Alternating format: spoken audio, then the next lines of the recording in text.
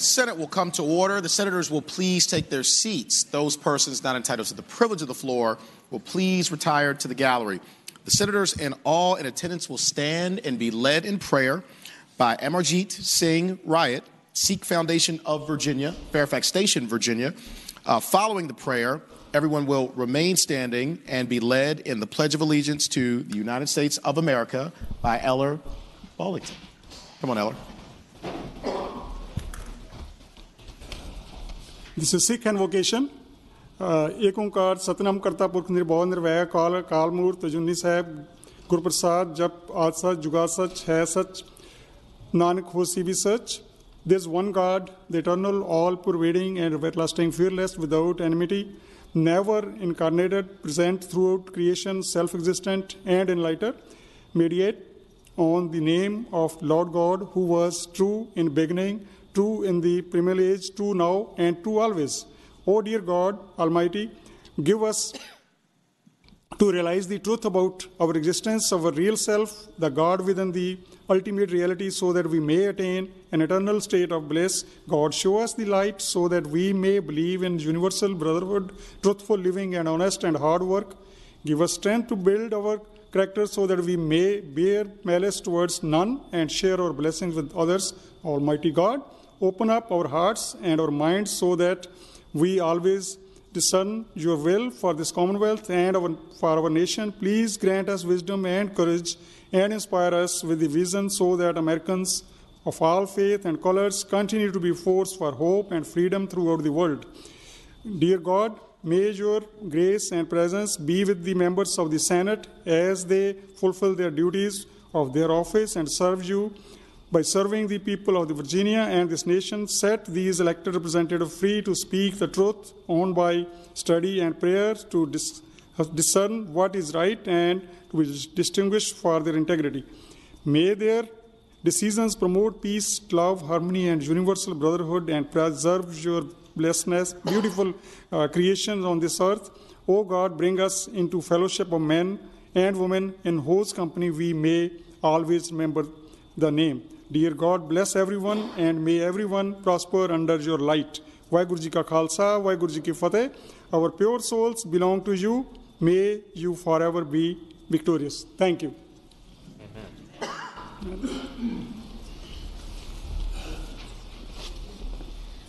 I pledge allegiance to the flag of the United States of America and to the republic for which it stands, one nation, under God indivisible, with liberty and justice for all.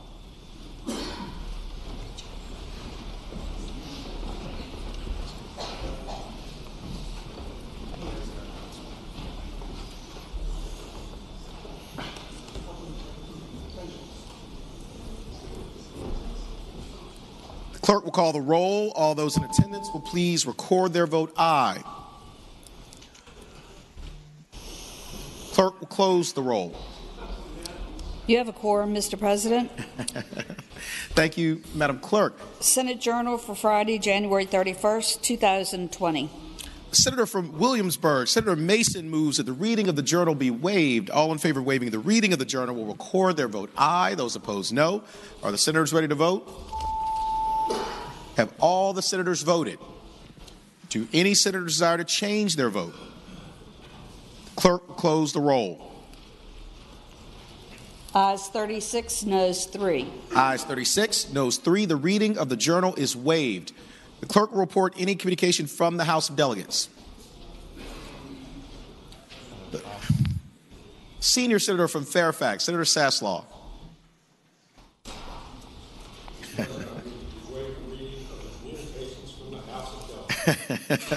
Thank the senator. The question is Shall the reading of the communication from the House of Delegates be waived? All in favor of waiving the reading will record their vote aye. Those opposed, no. Are the senators ready to vote? Have all the senators voted? Do any senators desire to change their vote? The clerk will close the roll. Ayes 36, noes 4. Ayes 36, noes 4. The reading of the communication from the House of Delegates is waived. The clerk will report any communication from the governor. We do not have any, sir. Thank you, Madam Clerk. Fine. No, you're good. Uh, now comes a time in the morning hour where we have the privilege uh, and the pleasure of welcoming our distinguished guests with us here in the Senate gallery. Uh, I will give my usual reminder that the way this will proceed is that a senator will stand up and recognize an individual or group. Uh, I will then offer the warm welcome of the Senate, and at the very end, uh, we will all applaud together. Uh, and I'd like to begin by calling on the senator from Southern Fairfax, Senator Barker. Thank you, Mr. President. Uh, rise for an introduction. Senator, you have the floor. Uh, Mr. President, um, in the gallery now is the uh, leader of uh, one of the, the, the uh, Sikh Foundation of Virginia, which is in right off 120, right along 123 in Fairfax Station, Virginia, in my district. Um, he's here with a, a, number of other people from the the, the Sikh temple there, and that was did a, an excellent job, obviously, in, in, his opening prayer here in the in the, uh, in the session today. Uh, so I would hope that you would give the warm welcome of the Senate to Amit Amir Singh Riat uh, from the Sikh Foundation of Virginia, and to all the others who were with him there. I was with them last uh, on a Sunday last summer.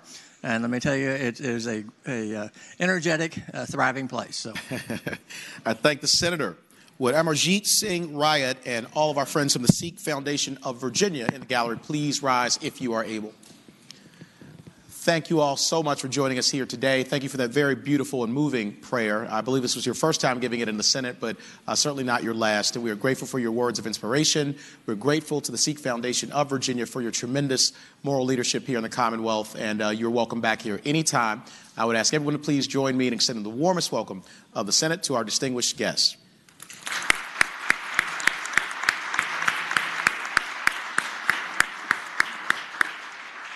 Senator from Western Fairfax, Senator Marsden.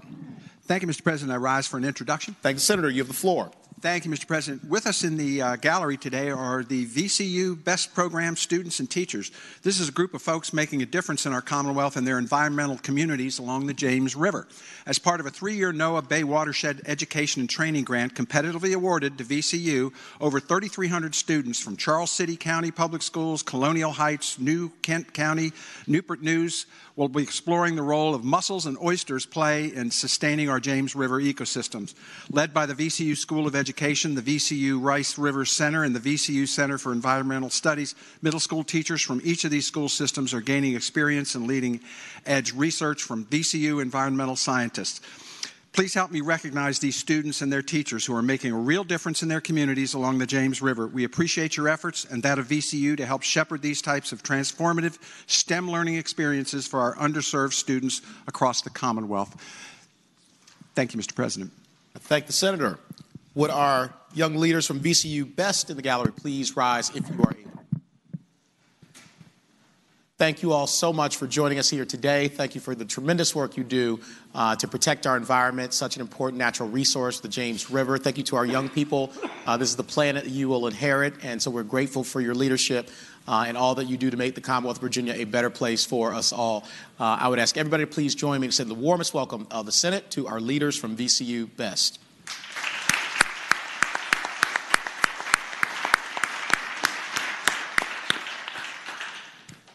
Senator from Fauquier, Senator Vogel.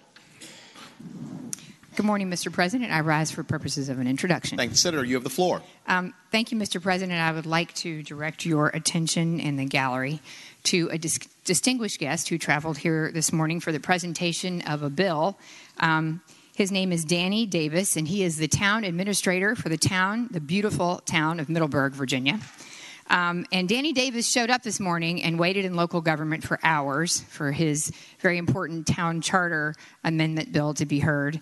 And um, I was waylaid at my law office because I was trying to go to work this morning. And um, I have to extend my deepest apologies because he carried that heavy load himself um, with Dr. Dunnavant. Uh, the gentle lady from Henrico who carried the rest of that load. And I have to say, Mr. President, I know I tried to go to work this morning and that didn't work. Dr. Dunnavant can deliver babies and still come to work. So um, I both want you to extend the very warm welcome of the Senate to Danny Davis, who is our town administrator, and um, also say that he got a twofer. He got uh, the support of more than one legislator this morning on his legislation. Thank you, Mr. President. I thank the Senator. Would our friend Administrator Danny Davis and any guests with you please rise in gallery if you're able? Uh, Danny, thank you so much uh, for your leadership in Middleburg and also for being here in the Capitol. Uh, we appreciate so much having wonderful leaders come and uh, improving our Commonwealth in so many different ways. And I echo the eloquent, generous words of uh, your senator from Fauquier, Senator Vogel, and I know Senator Dunnavant also uh, is very appreciative of your work. So you, of course, are welcome back here anytime. Middleburg is a gorgeous place, and I would ask everybody to please join me in extending the warmest welcome of the Senate to Administrator Danny Davis.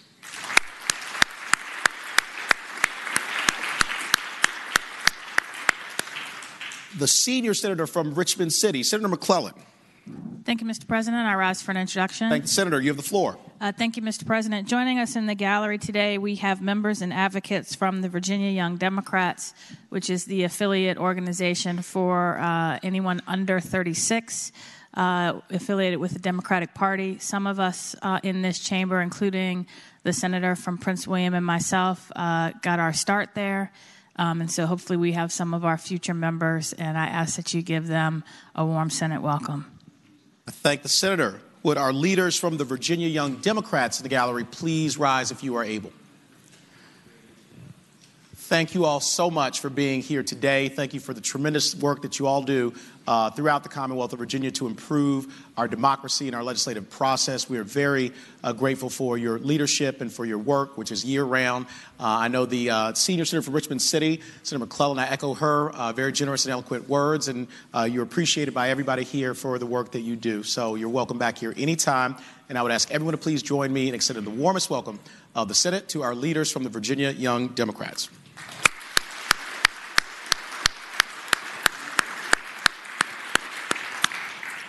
Senator from Lynchburg, Senator Peake. Yes, thank you, Mr. President. Today, uh, we have visiting us from all over the world students who are participating in the ASSE International Student Exchange Program. I had about 30 of them in my office. It was a little crowded this morning. We have a large number of them up in the gallery. Um, the the ASSE students have been awarded prestigious scholarships based on their leadership skills, their way above average scholastic achievements, and their English skills. They are selected through a highly competitive merit based process. Thousands apply, and those selected have gone through a vigorous, comprehensive process. All ASSE international students come here to learn about our country and cultures and share their own cultures with us. Thanks to the many host families, schools, and governments that have accepted these students, we are, and uh, we are able to uh, strengthen our ties with other nations through these future leaders. I ask you to give them the warm welcome of the Senate. I thank the Senator would our friends from the ASSE International Student Exchange Program in the gallery please rise if you are able? Thank you all so much for joining us here today in the Capitol and the Senate of Virginia. We are grateful to every single one of you, to your host families, uh, to your sponsoring governments. We appreciate you being here, the birthplace of Western democracy. Uh, and so I hope that you enjoy your time here. We all greet you and send back our warmest uh, thoughts uh, to each of you as you travel back uh, home. And so please do come back and visit us. And we look forward to seeing you in the Capitol many more times to come. I would ask everyone to please join me in extending the warmest welcome of the Senate to our leaders from the ASSE International Student Exchange Program.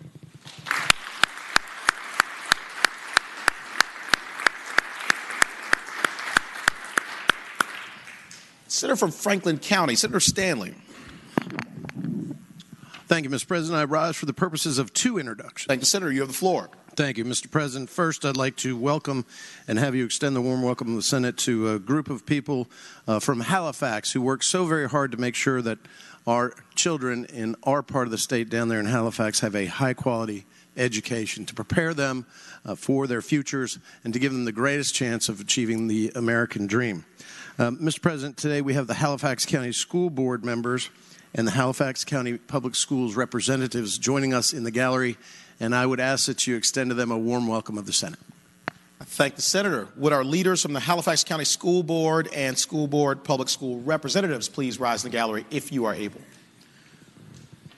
Thank you all so much for being here today. We are so grateful uh, for your leadership and all that you do in Halifax County to give our young people and families hope and economic opportunity uh, and a chance, as Senator Sanders said, at, at the American dream. It really does start uh, with the work you all do every single day. So we appreciate you. Please send our best to the beautiful folks in Halifax. And I would ask everybody to please join me in extending the warmest welcome of the Senate to our distinguished guests.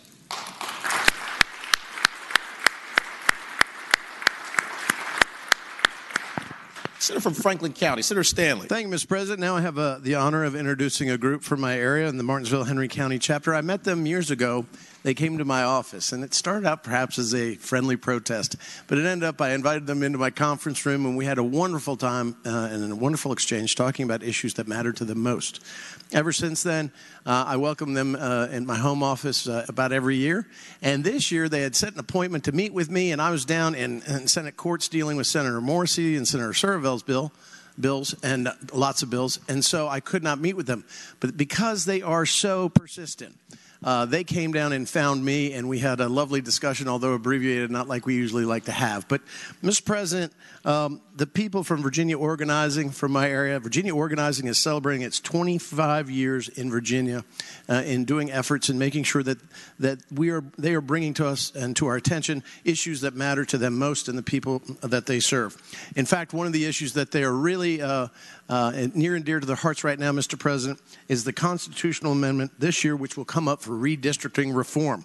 And, uh, and so I hope everybody on both sides of the aisle understands that Virginia organizing is exactly right. We need to pass a constitutional amendment uh, for redistricting reform. And because of that, and every other thing, but I, I must say, Mr. President, we may be on opposite sides of issues, but we're not on opposite sides of issues when it comes to our local area and their needs. And also, you can be on opposite sides of issues and still be friends. And they're my friends right up there, Mr. President. If you would extend to them the warm welcome of the Senate, I'd certainly appreciate it. I thank the senator. Would our friends and leaders from the Martinsville Henry County chapter of Virginia Organizing please rise in the gallery if you are able? Thank you all so much for joining us here today, and thank you for the work you do every single day uh, to strengthen our democracy. It really only functions well if we have an engaged citizenry and people who are willing to give of their time uh, to improve the Commonwealth for, for all of us. So uh, we are grateful to you. Please send our warmest back uh, to the folks back home, and uh, you're welcome uh, to protest Senator Stanley anytime you want to. and by the way, that goes for everybody here. So I would ask everybody to please join me to extend the warmest welcome of the Senate to our distinguished guests.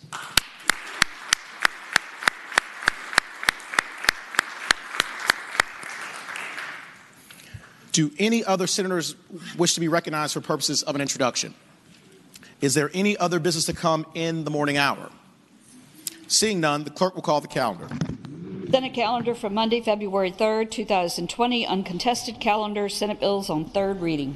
Senior Senator from Fairfax, Senator Saslaw. Mr. President, I move that the Senate bills on third reading on the uncontested calendar, pages 1 through 6, that's Senate Bill 528 through uh, Senate Bill 1012 be placed on their final passage in a block.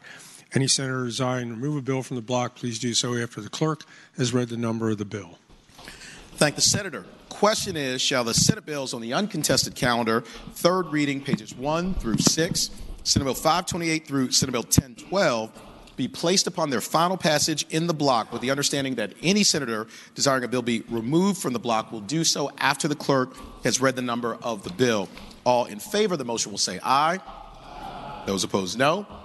The ayes have it. The motion is agreed to. The bills are before us in the block. Clerk will read the number of the bills. Senate Bill 528, Senate Bill 168, Senate Bill 200, Senate Bill 338, Senate Bill 458, Senate Bill 500, Senate Bill 555, Senate Bill 580, Senate Bill 591, Senate Bill 681, Senate Bill 786, Senate Bill 843, Senate Bill 1012.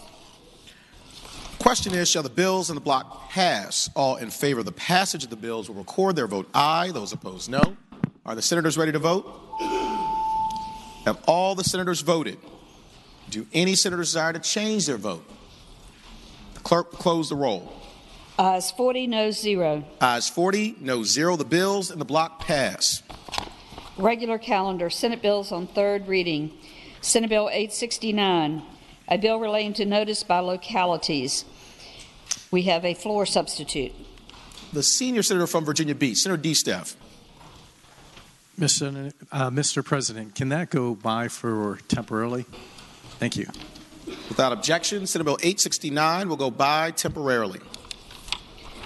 Senate Bill 246, a bill relating to Department of Motor Vehicles sex designation. Senator from Eastern Fairfax, Senator Surovell. Thank you, Mr. President. Um, first, I'm happy to note I made my soccer game. My daughter scored a goal, but could this go by for the day again?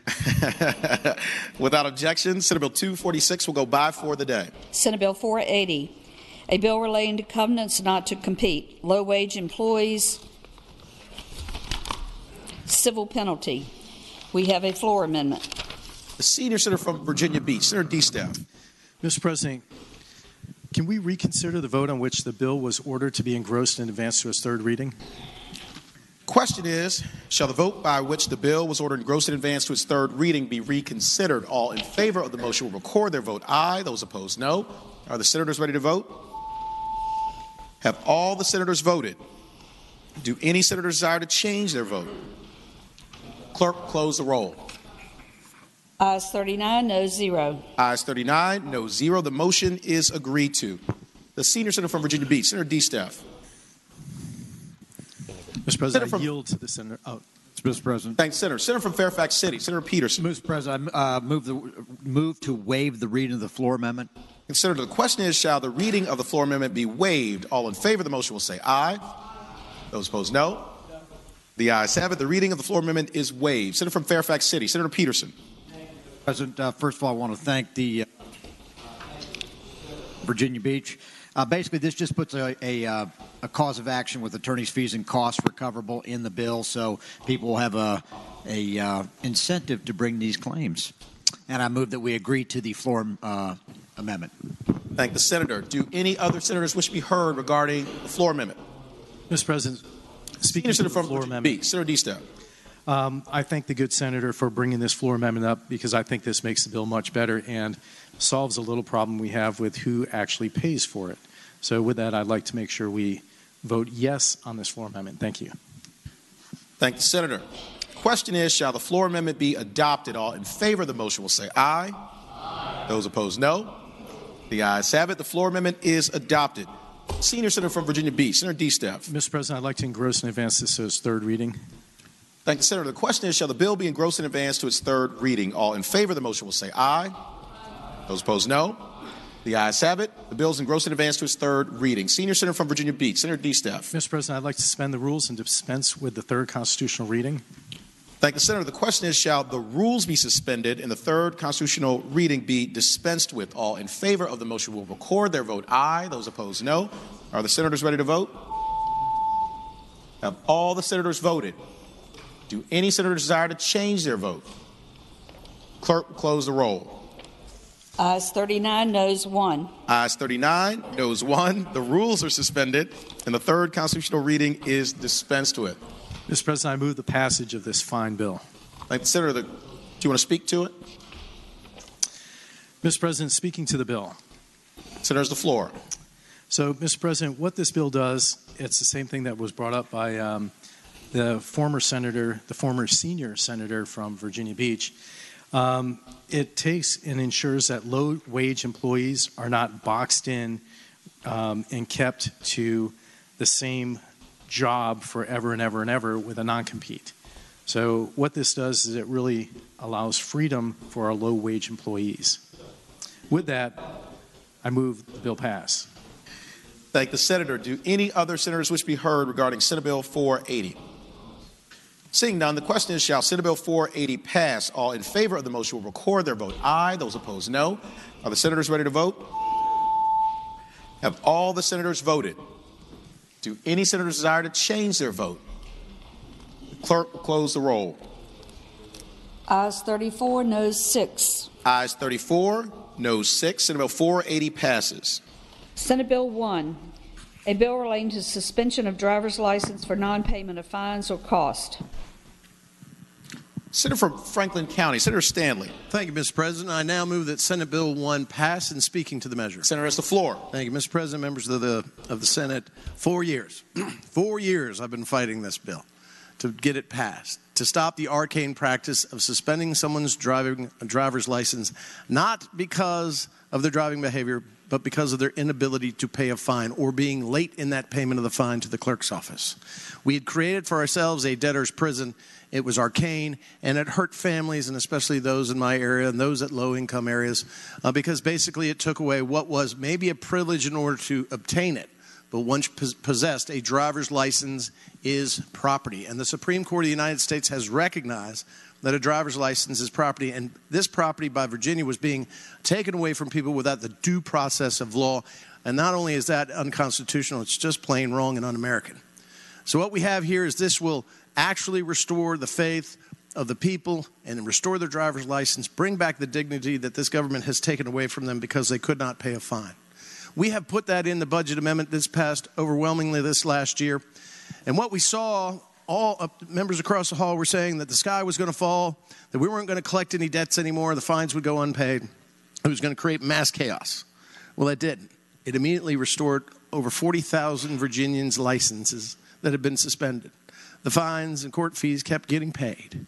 And people were trying to make a way and so that they could get their dignity back and their job back so they could pay these court costs and fines. But, Mr. President, more importantly, perhaps most importantly, because I saw it every day in the courtrooms that I practiced in, where people were coming in on driving on suspended one, two, and three offense based on them trying to get to work, but they had lost their license for fees that they could not pay, and now the fee cap was insurmountable. But what we saw was, is we have seen less, uh, we have seen now 5,000 people reduction of those charges being brought into court and jamming up our court systems. So it's not only helped restore dignity to those that have lost their license for non-payment of fees, but it's also restoring uh, some normalcy to our court system. Mr. President, this is one of the most important bills, and that's why I stayed up late with Richard Kraus uh, at a kitchen table, making sure that we put Senate Bill 1 on it, and so that Adam Ebbin, Senator Ebbin, would not have Senate Bill 1 like he usually does, because it's that important. And Mr. President, I would also state to this body that this has an emergency clause in it. Because this is so critical, that we have stuck an emergency clause, so once we pass it here, it goes to the House and the governor signs it, it becomes law automatically. So, for those reasons, Mr. President, I now renew my motion that Senate Bill 1 pass. Thank the senator. Do any other senators wish to be heard regarding Senate Bill 1? Seeing none, the question is Shall Senate Bill 1 pass? All in favor of the motion will record their vote aye. Those opposed, no. Are the senators ready to vote? Have all the senators voted? Do any senators desire to change their vote? clerk will close the roll. Ayes 40, no zero. Ayes 40, no zero. Senate Bill 1 passes. Senate Bill 72, a bill relating to public defender offices, cities of Manassas and Manassas Park, and the county of Prince William. Senator from Eastern Fairfax, Senator Surovell. Thank you, Mr. President. I move the bill pass and speaking to the motion. Senator has the floor. Thank you, Mr. President. Ladies and gentlemen, this bill simply adds Prince William County, the cities of Manassas, Manassas Park, to the localities that will have a public defender's office. Currently, there's about 24 in the state. This makes the 25th and the first new office since I think 2004. The uh, uh, Prince William County now has it's the second largest jurisdiction in the state, and um, this would be an office of about 25 lawyers, about 10 support staff, be one of the biggest public defenders offices in the state. It's supported by not only a large grassroots coalition in Prince William County, of which there's a few up in the gallery watching us right now. It's also supported by the uh, newly elected Prince William County Board of Supervisors, which has pledged to supplement their salaries uh, and uh, Mr. President, having said that, I think this will improve the quality of justice in Prince William County, and I would uh, move the bill pass again. Thank the senator. Do any other senators wish to be heard regarding Senate Bill 72? Seeing none, the question is Shall Senate Bill 72 pass? All in favor of the motion will record their vote aye. Those opposed, no. Are the senators ready to vote? Have all the senators voted? Do any senators desire to change their vote? Clerk will close the roll. Ayes 33, no 7. Ayes 33, no 7. Senate Bill 72 passes. Senate Bill 110, A bill relating to research and development tax credits, re- relating to research and development tax credit sunset aggregate caps. Senator from Northern Fairfax, Senator Howell. Thank you, Mr. President. I move the bill pass and speaking to it. Thank you, Senator. You have the floor. A few years ago, we passed two um, R&D tax credits. One was the small innovator tax credit, and the other was the major innovator tax credit. Once we did this, a number of other states copied us and outdid us because it was such a good uh, tool for economic development. So, what this bill does is um, try to adjust so it's all oversubscribed. We have more people wanting to use this tax credit than we could possibly do with the monies we have. So this increases uh, the small tax credit cap from 7 million to 8.4 million, and the major innovator uh, R&D tax credit from 20 million to 24 million. In other words, 20 percent. Um, it also adjusts the sunset date and changes the a- annual filing deadline for the credits to align with um, the federal R&D tax credit. That's what does. Thank the senator. Do any other senators wish to be heard regarding Senate Bill 110? Seeing none, the question is Shall Senate Bill 110 pass? All in favor of the motion will record their vote aye. Those opposed, no. Are the senators ready to vote? Have all the senators voted?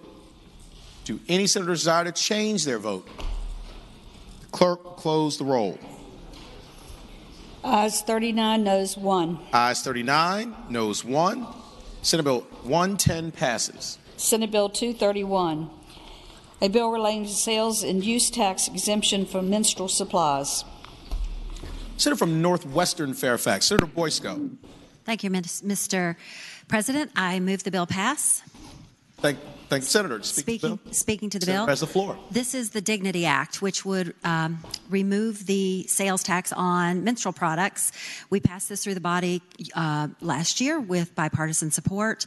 Um, we had to do a compromise with the House last year to get their support. I'm bringing it back in the same form that we had it this year. It does have a clause and an enactment period that is um, a year ahead, so it would not go into effect until 2021. And I move the bill pass. Thank the senator. Do any other senators wish to be heard regarding Senate Bill 231?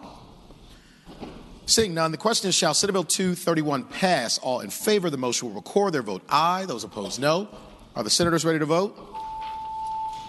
Have all the senators voted? Do any senators desire to change their vote? Clerk will close the roll. Ayes 40, noes 0. Ayes 40, no 0. Senate Bill 231 passes. Senate Bill 335, a bill relating to hunting and fishing license military service.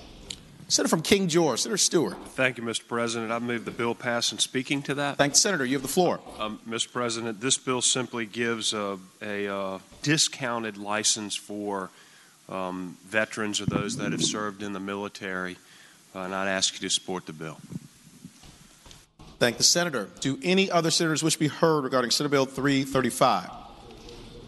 Seeing none, the question is Shall Senate Bill 335 pass? All in favor of the motion will record their vote aye. Those opposed, no. Are the senators ready to vote? Have all the senators voted? Do any senators desire to change their vote? Clerk, close the roll. Ayes 40, no 0. Ayes 40, no 0. Senate Bill 335 passes. Senate Bill 624, a bill relating to conditional release of geriatric prisoners. Senator from Northern Chesapeake, Senator Spruill. Thank you, Mr. President. Speaking to the bill. Senator has the floor. Uh, Mr. President, Amendment 624 bill states any person serving a sentence imposed upon a conviction for a felony offense other than a first class one, other than a class one felony. This bill would expand eligibility criteria for geriatric condition release to include individuals who are 50 years old and have served at least 20 years, 55 years old who have served 15 years. Currently, all uh, offenders who are 65 years of age or older who have served five years and of 60 years age or older served 10 years. JLARC recently published a report on the rising cost of inmates' health and care among the aging population. JLARC's percentage estimate the age of 55 or more than double in the last 10 years. Since 2017, inmates rose over the age of 55 has account 12% of the population uh, who are incarcerated. This bill would allow costly, this bill would allow the most cost and sick offenders to be considered, only to be considered by the Virginia Board of Parole that they will be released. It was the physical impact sent to uh, the finance department, and they passed it out. Thank you, Mr. President. Thanks, Senator. Senator, want to move passage? Uh, thank you, sir. Move the bill passed. Thank you. I thank the senator. Do any other senators wish to be heard? Um, what percent from Roanoke County? Senator Suetterlein rise. Thank you, Mr. President. Will the patron yield for a question? Will Senator yield? Yes. Senator yields. You have the floor. Is there any other situation where we consider people at 50 years old geriatric? Senator has the floor. Mr. President, I, I do not know. Further question? That just seemed pretty young to me, uh, Mr. President. So I was curious to how how 50 years old is now considered geriatric. Mr. President, we're talking about those who are, are really sick. We're not talking about because you're 50 years old. I mean, because you got some 60s old who are healthy. We're talking about those who are really sick, that incapacitated, that really that they can consider that they could consider um, giving them parole. Further question? Uh, Mr. President, it, it just seems I seem to read this a little bit differently. Uh, thank you. Thanks, Senator. What person from Rockingham? Senator Obenshain rise. Mr. President, I reluctantly rise for question. Um, Senator Yield for a question? Yes, sir. Senator Yield, you have the floor. Could you point me to the portion of this bill that uh, says that you have to be sick in addition to being old? Senator has the floor. Mr. Chairman. Because, Mr. President, I do not see it.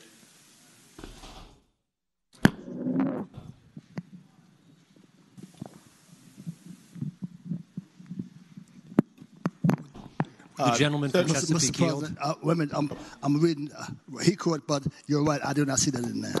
Okay. Would the, Uh, Senator Yield, gentleman, the Senator junior from senator from Richmond Chesapeake City. Yes. Ju- Junior senator from Richmond City. Senator Morrissey. In response to the inquiry, I tell the gentleman that this was a, a, a very lively debate in committee. There is no language in there dealing with the words sick or cap- incapacitated. However, the dialogue and the debate during committee meetings and among the various stakeholders was that that portion of the population uh, that reached anywhere from 50 to 65, the statistics showed were very sick or were more sick, more in need of services than any other population in DOC, and were costing the Commonwealth, where it normally costs $21,000 a year to incarcerate somebody, upwards of 40 or $60,000 per person. So, So, Further question? Mr. President, uh, I guess further question is so. I guess the answer to that question is that this bill is not as described. It is uh, an absolute uh, geriatric release provision for prisoners over 50 or 55, and it has nothing to do with illness. Senator's the floor. Is your mic, can y'all hear? Is your Mr. mic on? President. Mr. President, Hold on, hold on, one, hold on one second. You good? Okay. Four-person from Eastern Fairfax, Senator Surovell rise. Do you yield? To answer his question. Sure. Yield. You have the floor. Um, what I would say to the senator from Rockingham is it's not an absolute release. It simply makes people eligible for parole, which requires a hearing and a proceeding. And I believe about 3% of the people who are eligible are actually getting released. So it's a very small um, possibility. Just, it just makes people eligible. And I would also just note that th- these prisoners have to serve a portion of their sentence, differing lengths of sentence based on their age, um, before they're eligible. So it's not just an automatic release. So, Mr. President, Senator, further question. Further question? So, uh, to whoever wants to answer it. Uh, so, am I correct in understanding that this would apply to someone who's convicted at age 40? They would be eligible for release at age 55. Senator from Eastern Fairfax.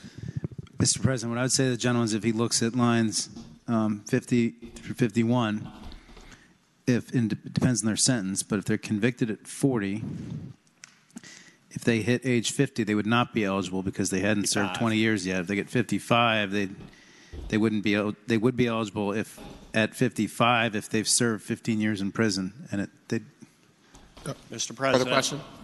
And that 15 years in prison would be irrespective of the amount of time that they were sentenced for. They may have been sentenced to serve 30 years. After that, or 40 years, or 50 years. After that first 15 years, they would be eligible for release. Senator's floor. and I'll yield. And um, but what I would say is that, provided it was not the type of sentence that was life without parole, yes, they'd be eligible for parole to be part of that three percent that gets parole. So, Mr. President, Further further question? question. So, I assume, and you can please disabuse me of this assumption if I'm wrong, that uh, the juries who would be sentencing these people at age 40 would not be informed that the person's going to be eligible for release at age 55. Senator's the floor. Um, I would say, I would yield, and then I would say to the gentleman, yes, I believe he's correct about that. Further question? I thank the gentleman. Thank the Senator. For what purpose is the junior senator from Virginia Beach, Senator Kiggans, rise? Mr. President, I rise to speak to the bill. Senator has the floor. I, uh, I just want to point the I find the language of the bill to be a little bit misleading as far as the definition of geriatric is concerned. In the medical field, geriatric is defined as age 65 and above. And with the aging of America and Americans living longer and healthier lives well into their 70s and 80s, I find the term geriatric at age 50 to be extremely misleading. And then uh, just also contributing with the cost of housing prisoners uh, being more expensive at that age, I would I would argue that that's probably incorrect information. Just with um, again people living uh, very active, healthy uh, lives well into their even 80s, 90s, and above these days. So, thank you. Thank you, Senator. For what purpose is Senator from Arlington, Senator Favola, rise? I'm speaking to the bill. Senator Mr. has the President. floor. Thank you. Um, colleagues in the Senate, I would ask that you support this bill for several reasons.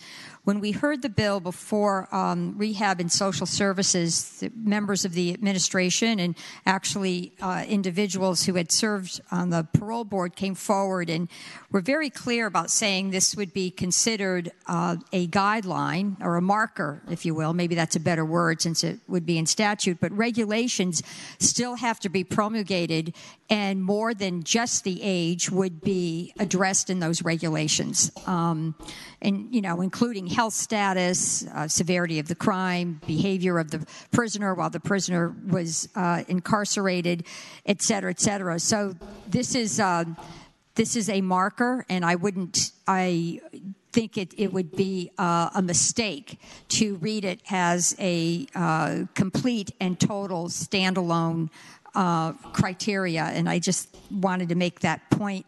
And the other point I would make is it was. Um, very clear to the committee that there would have to be some plan if a prisoner were to be released on parole. Uh, housing would have to be provided in some other venue. There would have to be some place to release that prisoner to. So um, that's an important point when you're talking about the application of this.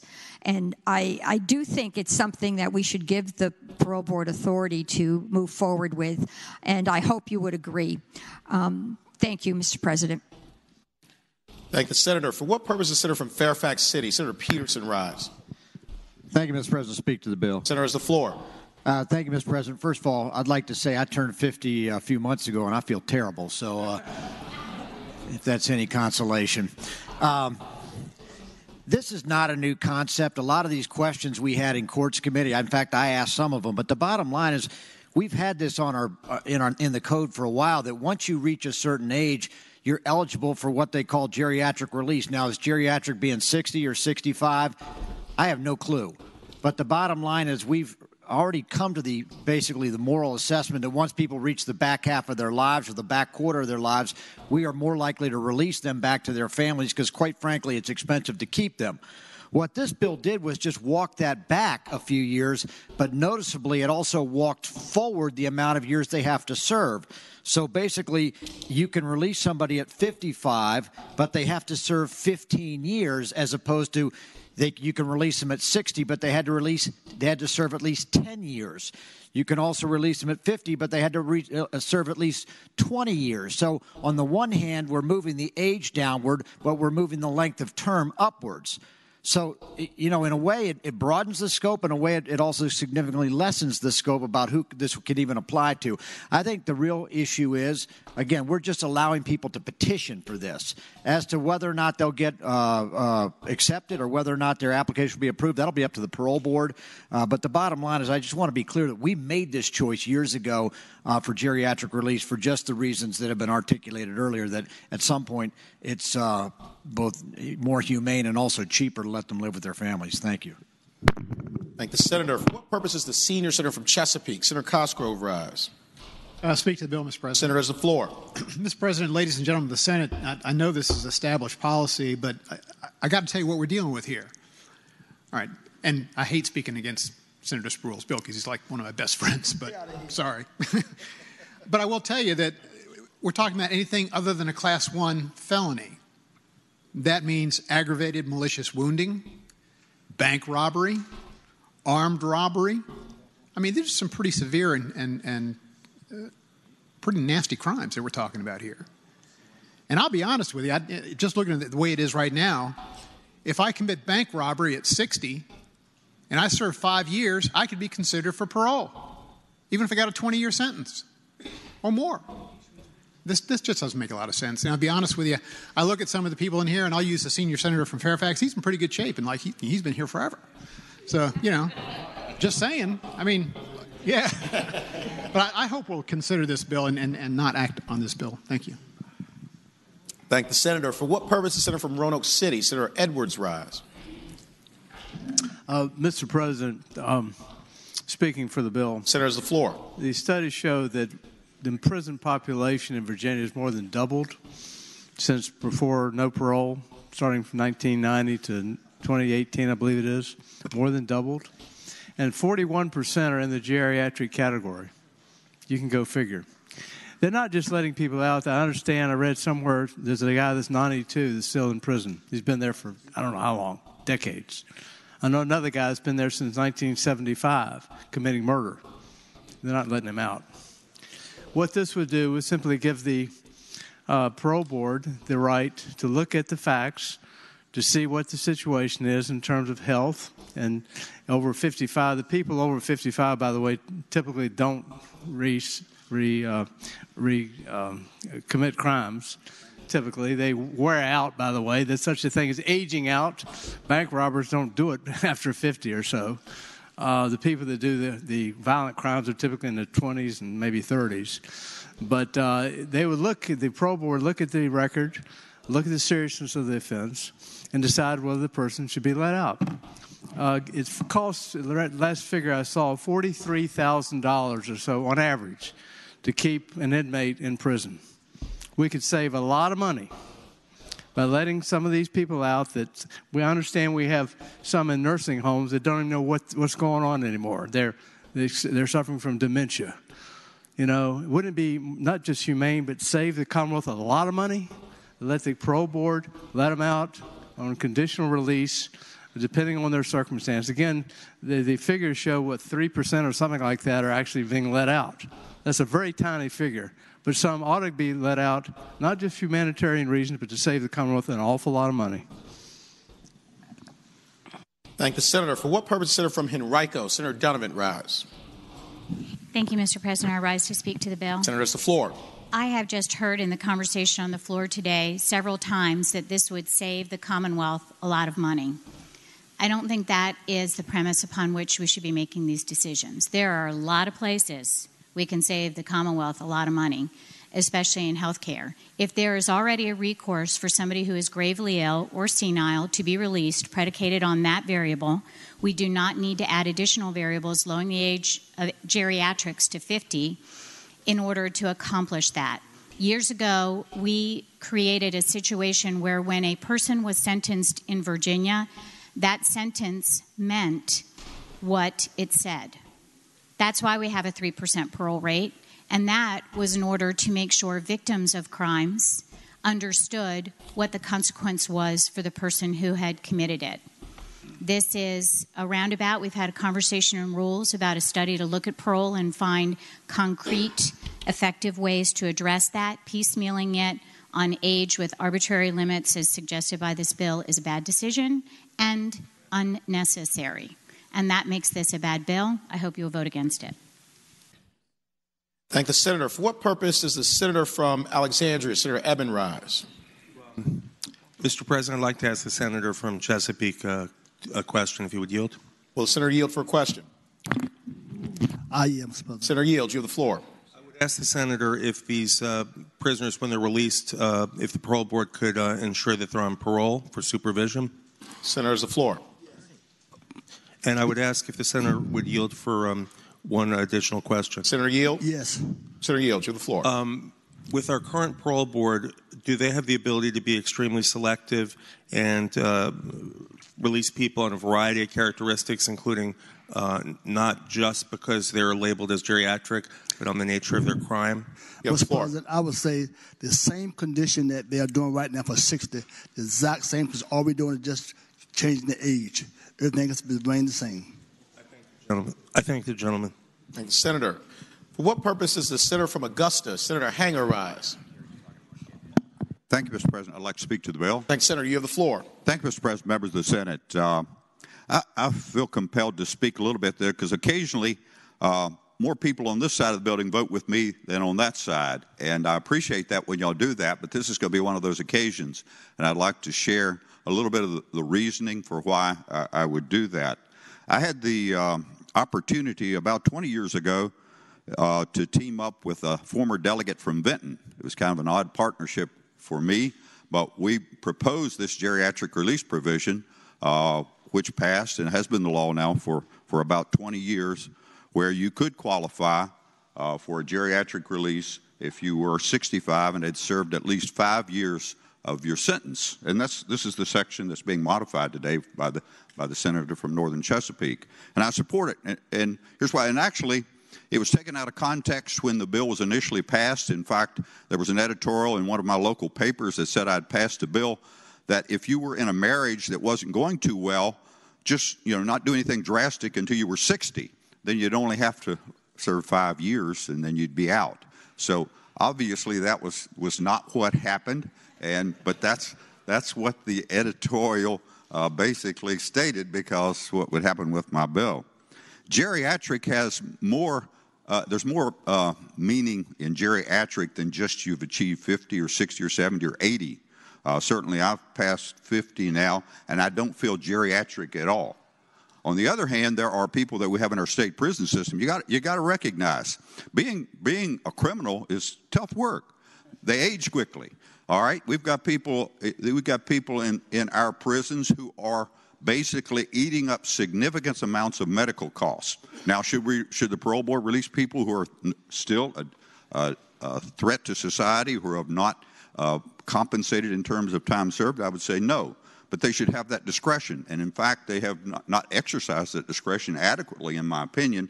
And we're paying extreme amounts of money for final stages of life, as an example, uh, where we could have these individuals out where they're their families could they could be back with their families if they have families. They could be eligible for Medicaid, and if they're in an institution, obviously we put them over in VCU quite often and rack up extreme medical bills and end of life. So that's for the parole board to decide.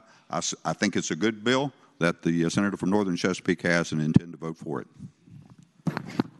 Thank the senator. For what purpose, Senator from King George, Senator Stuart, rise?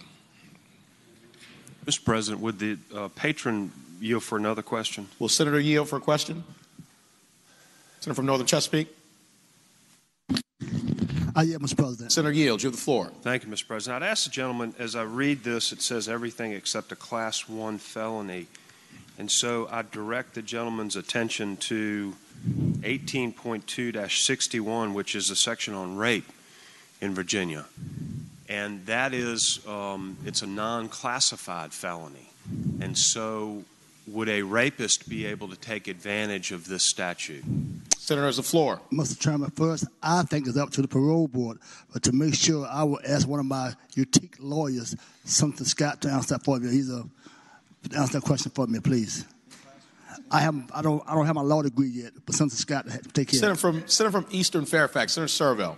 Um, Mr. President, I think I heard the question while I was walking to the printer and back, but uh, I think the answer is that if it's unclassified, it's not a class one.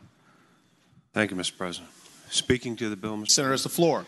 Um, Mr. President, I know that we want to be a compassionate society, and I, I recognize the geriatric provision having practiced in Title 18.2, as many of you all have in here for, gosh, 25 or 30 years or more. It's a difference between being 65 and being 50 years of age, regardless. You know, one of the worst things that I ever had to prosecute in my short time as a Commonwealth's attorney was a fellow that I actually grew up and went to school with. And um, he, at one point, uh, I think it's safe to say, he got on drugs pretty bad and kind of lost control of his life.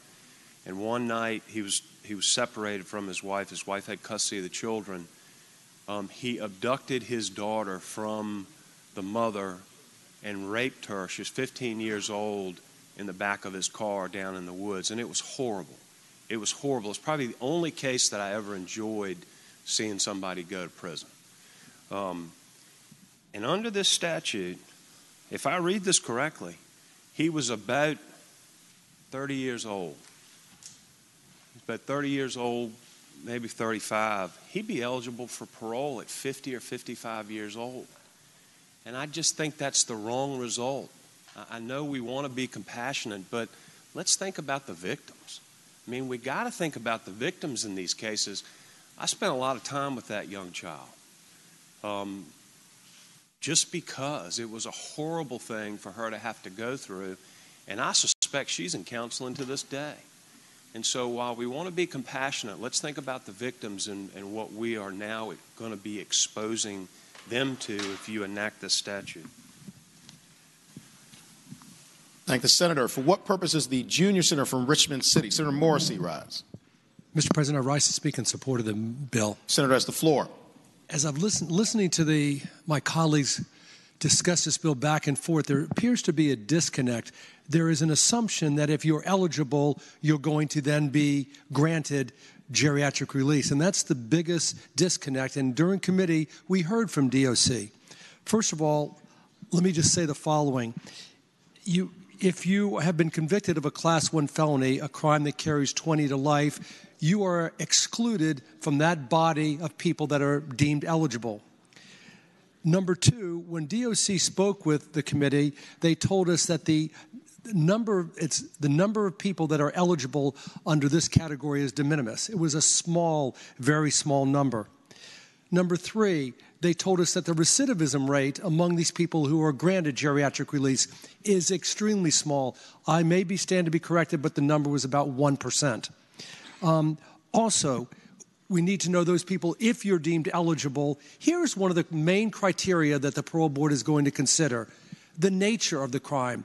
And I would tell my colleague from Prince George that the horrible nature of that crime, which none of us disagree with, would in all likelihood make him ineligible.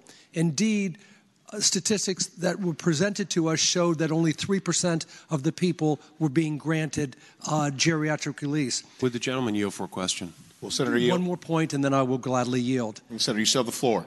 The next point is that those people who are released, and it's only about 3%, then are under strict parole, uh, many of them for the rest of their natural lives. And the and the and the my final final point, it only gets to cost. And those people that the parole board would consider eligible for geriatric release, they will consider the health of the individual, whether that person has a terminal illness or, the, or something like that. With that, Mr. S- Mr. President, I will yield to the gentleman from Prince George. Senator yield. Senator from King George, Senator Stuart. Uh, Mr. President, I would ask the gentleman, and I, I don't disagree with what the gentleman said, but I would ask him this. My reference was to victims. And wouldn't the gentleman agree that under this statute, if enacted, that same rapist that I used in my example would be eligible to apply or petition the parole board every year once they reach that age limit? And would that victim not have to go through this every year? I Senator has the floor. I would tell the senator from King George that my recollection, again, I can be stand to be corrected. After they've applied, sometimes DOC defers them for three years before they come up again and be, may be considered. But I would tell them this: during a parole hearing where the uh, victim, I mean, the defendant's families are there, the victim is not there. The victim does have a right to speak with parole board. Uh, by themselves or send a letter so it's not like they're put through that that that scenario that you just described here's how i think it's best interpreted to, the person is eligible if they re- receive a certain age, but then the parole board is going to consider a very strict degree of criteria whether they're granted parole. First and foremost is that nature of that crime. Given what we were told in committee, almost none of the horrific situations that you described would the person be granted parole.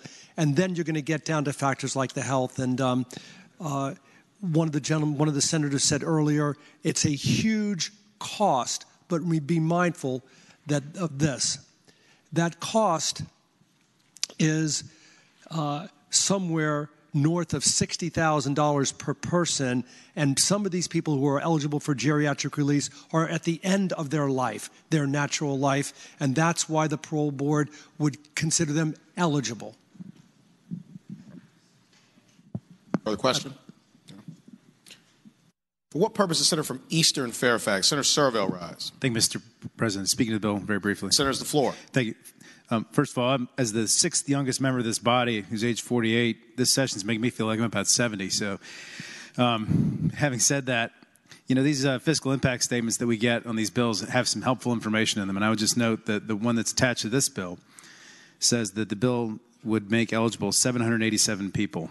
And, and then it talks about in the following year, there's 235, and the year after that, 172. With a 3% grant rate, that's 21 people. So that's what we're talking about here, basically, is about 21 people possibly being released. And just for some examples, in uh, last year, 2018, the parole board released somebody, one person, who had reached age 60, who at the time had been costing DOC a million dollars per year because he was unable to breathe on his own because of irreversible paralysis on his chest muscles. I mean, the, these are the kinds of people we're talking about. We're not talking about letting out a rapist who just turned 50. That isn't going to happen. When the hearing happens, the victim gets noticed, the victim can testify, the Commonwealth attorney can make noise. I mean, these are these are people that are not going to get parole. So I just think we need to be focused on what the bill is actually aimed at, and not what a bunch of unrealistic scenarios that might happen. For what purpose is the senior senator from Fairfax, Senator Saslaw, rise? I think your mic, your mic may not be on. Before these people all have me dead and buried, I'll move the pending question. the question is Shall the pending question be ordered? All in favor of the motion will record their vote aye. Those opposed, no.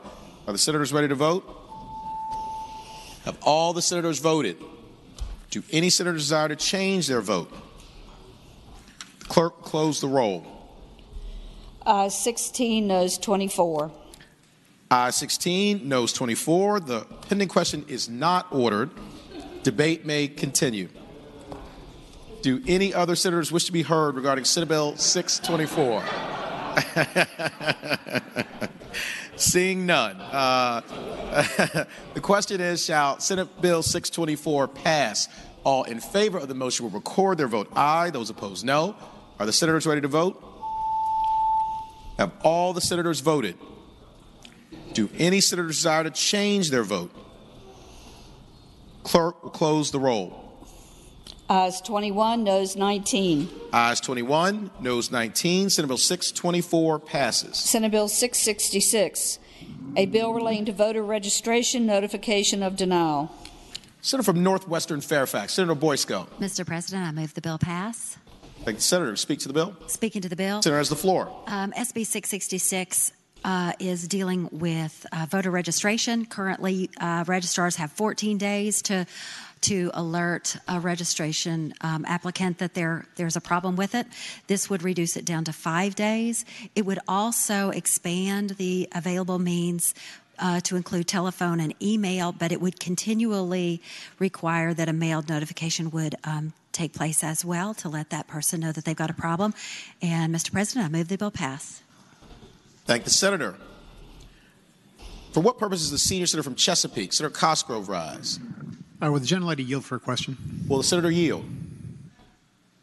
Yes, sir, I will. Senator yield. You have the floor. Uh, I'd ask the senator: um, Does the bill number have any indication of the about this bill?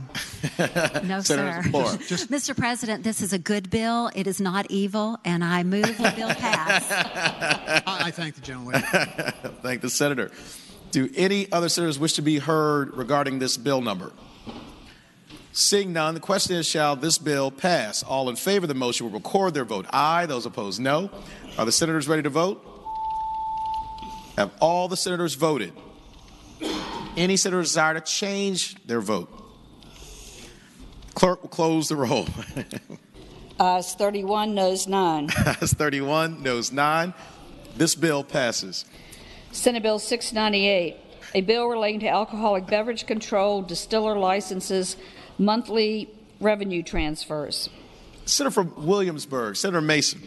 Thank you, Mr. President. Mr. President, I move the bill pass. And speaking to the motion, Thank the Senator. You have the floor. Thank you, Mr. President. Mr. President, and members of the Senate. Um, last year, the gentleman from Lynchburg, Senator Peake, was made aware of a problem that our distillers had. And as you likely know, distilleries are operate as ABC stores. So the distilleries were creating their own product, selling it, but then had to send 100% of the proceeds to ABC to have it processed and have their percentage be sent back. Didn't make any sense. They were making it there, they were operating as ABC store. So the, the senator from Lynchburg came up with a process to fix the problem.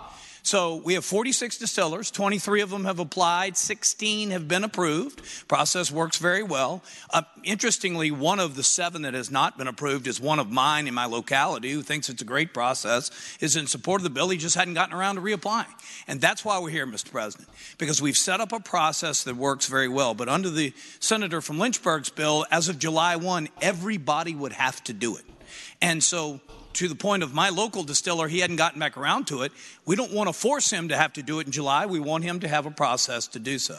That process is you have to have six months of accurate, timely, and verified accounting records and reporting, full compliance with all aspects of the agreements, manuals, and operating, satisfactory compliance to the latest ABC internal audit, and no ongoing or pending enforcement matters with ABC. So, Mr. President, this simply allows us some flexibility on the go forward that if you haven't met these requirements, you're not going to get approved. And if you're a distillery that doesn't want to apply, and you're, it's essentially accounting change, and you don't have to go through the change, you don't have to do it either. So we will continue to work with all distillers to make sure that if they want to do it, we take them through an orderly process and get them approved. But if they don't, and they're good to go with the way they're doing business, Mr. President, this bill will afford them the opportunity to do so. So this bill's on the success that the, the gentleman from Lynchburg started last year, and I hope you'll support the bill. Thank the Senator. Do any other senators wish to be heard regarding Senate Bill 698? Seeing none, the question is Shall Senate Bill 698 pass? All in favor of the motion will record their vote aye. Those opposed, no. Are the senators ready to vote? Have all the senators voted? Do any senators desire to change their vote? The Clerk will close the roll. Ayes 27, noes 13. Ayes 27, noes 13. Senate Bill 698 passes. Senate Bill 742, a bill relating to rental or leasing of dog or cat prohibited civil penalty. Senator from Prince William County, Senator McPike. Mr. President, I move the bill pass and speaking to that motion. Senator, you have the floor. Thank you, Mr. President. Uh, this bill uh, provides a, a, means to uh, prohibit financial institutions uh, for loan or financing agreements uh, for rental, lease, or sale of dog or cat where the animal is subject to repossession upon the terms. And so this is really the, the core of the bill, Mr. President, is to ensure there is uh, still mechanisms of finance. However, repossession is not one of those options, and there's support amongst the small lenders, uh, pet store owners, as well as animal rights activists as well. And I move the bill pass. Thank the senator. Do any other senators wish to be heard regarding Senate Bill 742? Seeing none, the question is Shall Senate Bill 742 pass? All in favor of the motion will record their vote aye. Those opposed, no. Are the senators ready to vote? Have all the senators voted? Do any senators desire to change their vote? The clerk will close the roll. Ayes 27, noes 13. Ayes 27, noes 13. Senate Bill 742 passes. Senate Bill 787, a bill relating to City of Norfolk financing of an arena and facility. Senator from Accomack, Senator Lewis. Mr. President, members of the Senate, Senate Bill 787 is the bill designed to facilitate the construction of an arena project in Norfolk. It's been the top priority of Mayor Alexander for the last two years and, and of the council as well. Uh, the city is uniquely poised to to uh, take advantage of a, a, lack of market uh, in the area. We're, many of our facilities are outmoded uh, or undersized to support some of the uh, events and activities which other cities such as Memphis, Milwaukee, and Jacksonville, which are a similar size as Hampton Roads, have been able to capitalize on discussions with promoters tell us that there is a real market out there uh, for an expanded facility. This facility would be a 15,000 seat facility.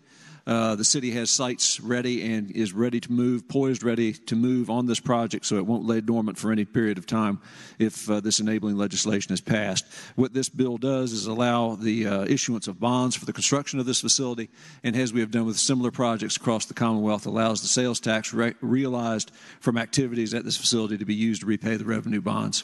So, be uh, hope be the pleasure of the bill, of the body to pass the bill, and I would so move. Thank the senator. Do any other senators wish to be heard regarding Senate Bill 787? Seeing none, the question is Shall Senate Bill 787 pass? All in favor of the motion will record their vote aye. Those opposed, no. Are the senators ready to vote? Have all the senators voted? Do any senators desire to change their vote? Clerk, close the roll. Ayes 37, noes 2. Ayes 37, noes 2. Senate Bill 787 passes. Senate Bill 856, a bill relating to State Board of Elections, increased membership and terms, Commissioner of Elections, role and eligibility report. Senator from Alexandria, Senator Ebbin. Thank you, Mr. President. Uh, SB 856 would um, fulfill a, um, a, goal that's been um, held for a few years by increasing the uh, number of members of the State Board of Elections from three to five. The board was created before the uh, inclusion of open meeting requirements in Virginia. So, right now, uh, two members of that three member board cannot talk to each other outside of the meetings uh, where uh, minutes are taken and so forth. Further, allowing uh, the board to have five members would allow for greater geographic diversity.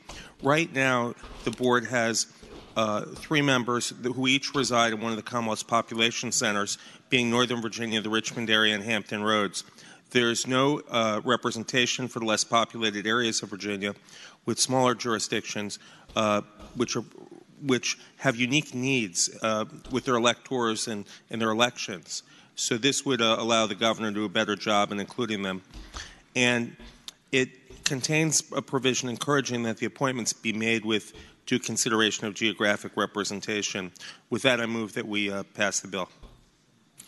Thank the senator. Do any other senators wish to be heard regarding Senate Bill 856? Seeing none, the question is Shall Senate Bill 856 pass? All in favor of the motion will record their vote aye. Those opposed, no. Are the senators ready to vote? Have all the senators voted? Do any senators desire to change their vote? The clerk close the roll. Ayes 34, noes 6. Ayes 34, noes 6. Senate Bill 856 passes. Senate Bill 857, a bill relating to voter registration, public access not required for certain voter registration events. Senator from Alexandria, Senator Ebbin.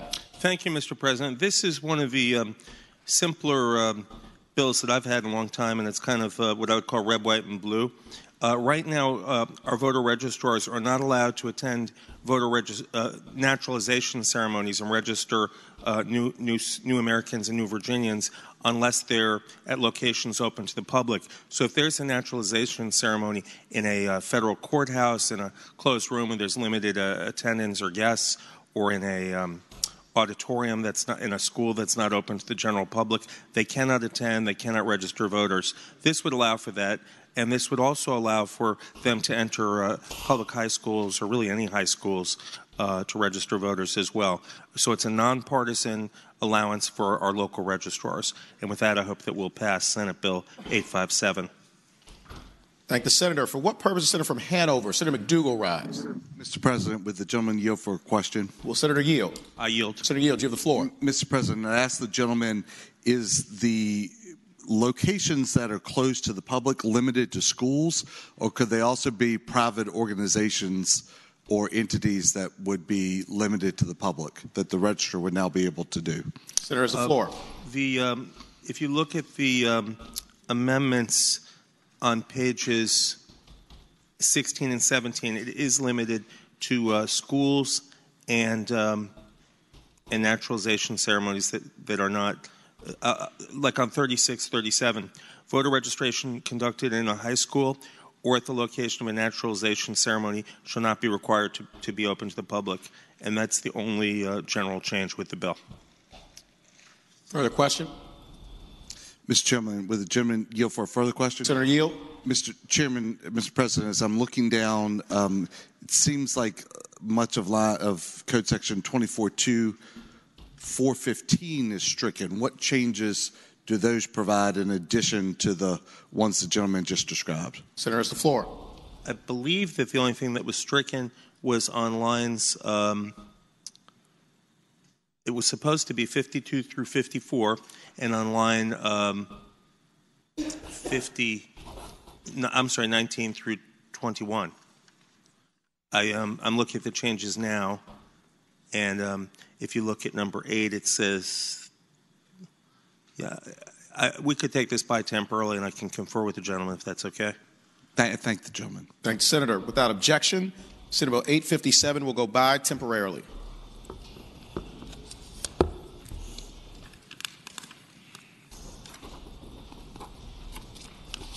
Senate Bill 987, a bill relating to hunting waterfowl duck blinds.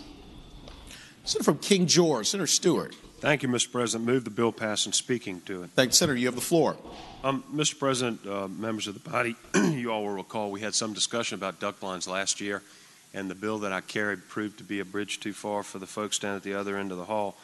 Um, so we narrowed it this year, and basically what this bill just says is you cannot put a duck blind within 150 yards of somebody's house or home where they reside unless you have permission from them. And that's to just avoid that controversy of somebody shooting guns out in front of somebody's house and limiting their ability to use their yard. It also includes a provision which DGIF uh, was concerned about.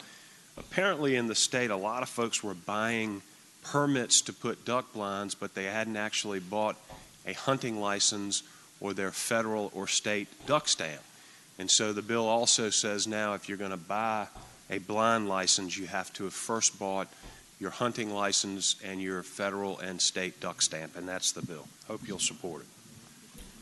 Thank the senator. Do any other senators wish to be heard regarding Senate Bill 987? Seeing none, the question is Shall Senate Bill 987 pass? All in favor of the motion will record their vote aye. Those opposed, no. Are the senators ready to vote? Have all the senators voted? Do any senator desire to change their vote? The clerk will close the roll. Ayes 36, noes 4. Ayes 36, noes 4. Senate Bill 987 passes. Senate Bill 1028, a bill relating to additional local sales and use tax in Northampton County, appropriations of Northampton County to incorporated towns for educational purposes. Senator from Accomack, Senator Lewis. Uh, Mr. President, members of the Senate, this is a measure, a type of measure we've seen before. Uh, last year we did this to the, to the county of Halifax. This year, I believe the senator from Mecklenburg has a, has a similar uh, version or bill working its way through the system. Essentially, what we have is a situation in Northampton County where uh, the county is in dire need of significant infrastructure improvements. It's seen a dramatic decrease in its uh, assessed value of its real property. Uh, they have about 75% of their students are on free and reduced lunch. So, about the only means uh, that they can arrive at for funding the massive infrastructure they need they need to make sure the children in Northampton County are learning in a safe and sound environment and, and are able to learn because the environment is safe and sound is through taxing themselves with an increased sales tax, which would uh, have to be imposed by refer- after referendum uh, and then would be devoted solely and specifically towards uh, school infrastructure. So, with that, I'd ask that the bill pass. Thank the senator. Do any other senators wish to be heard regarding Senate Bill 1028? Seeing none, the question is, shall Senate Bill 1028 pass? All in favor of the motion will record their vote aye. Those opposed, no. Are the senators ready to vote? Have all the senators voted? Do any senators desire to change their vote? Clerk will close the roll. Ayes 28, noes 11. Ayes 28, noes 11. Senate Bill 1028 passes. Senate Bill 1090, a bill relating to scenic rivers, Grays Creek in Surry County. Senator from James City County, Senator Norment. Thank you, Mr. President. On behalf of my cohort and myself, I would move that Senate Bill 1090 pass, and it is merely the naming of a portion of Grays Creek in downtown Surry County, Virginia. Thank you, Senator. Do any other senators wish to be heard regarding Senate Bill 1090? Seeing none, the question is Shall Senate Bill 1090 pass? All in favor of the motion will record their vote aye. Those opposed, no. Are the senators ready to vote? Have all the senators voted? Do any senators desire to change their vote? The clerk will close the roll. Ayes 35, noes 5. Ayes 35, noes 5. Senate Bill 1090 passes. Returning to page 7, Senate Bill 869. We have a second floor substitute. The senior senator from Virginia Beach, Senator DeSteph. Mr. President, I wish we'd reconsider the vote by which the bill was ordered to be engrossed and advanced to its third constitutional reading. Thank the senator. The question is Shall the vote by which the bill was ordered engrossed in advance to its third reading be reconsidered? All in favor of the motion will record their vote aye. Those opposed, no. Are the senators ready to vote? Have all the senators voted? Do any senators desire to change their vote? The clerk will close the roll. Ayes 40, no 0. Ayes 40, no 0. The motion is agreed to. Senior Senator from Virginia Beach, Senator DeSteph. Mr. President, I'd like to reconsider the vote by which the committee amendments were agreed to. Thank the Senator. The question is Shall the Senate reconsider the vote by which the committee amendments were agreed to? All in favor of the motion will record their vote aye. Those opposed, no. Are the senators ready to vote? Have all the senators voted? Do any senators desire to change their vote? Clerk will close the roll. Ayes 39, no 0. Ayes 39, no 0. The motion is agreed to. The senior senator from Virginia Beach, Senator DeSteph. Mr. President, I'd like to reject the committee amendments. With the recommendation that they be rejected, the question is Shall the committee amendments be adopted? All in favor of the motion will say aye. Those opposed, no. The noes have it. The committee amendments are rejected. Senior senator from Virginia Beach, Senator DeSteph. Mr. President, I'd like to withdraw floor amendment substitute number one. Without objection, floor substitute number one is withdrawn. The senior senator from Virginia Beach, Senator DeSteph. Mr. President, I'd like to waive the reading of floor substitute number two.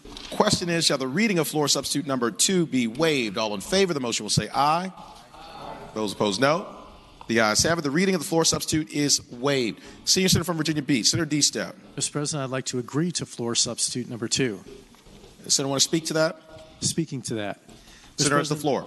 This is a bill that we've gone back and forth on a little bit. Now it goes back to the original intent for um, in which Planning District number 23, which is Hampton Roads, um, that if a newspaper fails to publish a notice that's been paid for and properly given time to the to be printed to the uh, newspaper that such locality deemed having read the notice requirements of the subsection as long as the notice was published in the next available edition of the newspaper, having general circulation in the locality.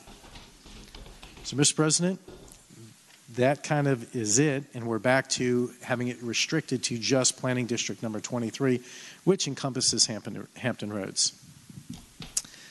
So, with that, Mr. President, I move the uh, bill pass.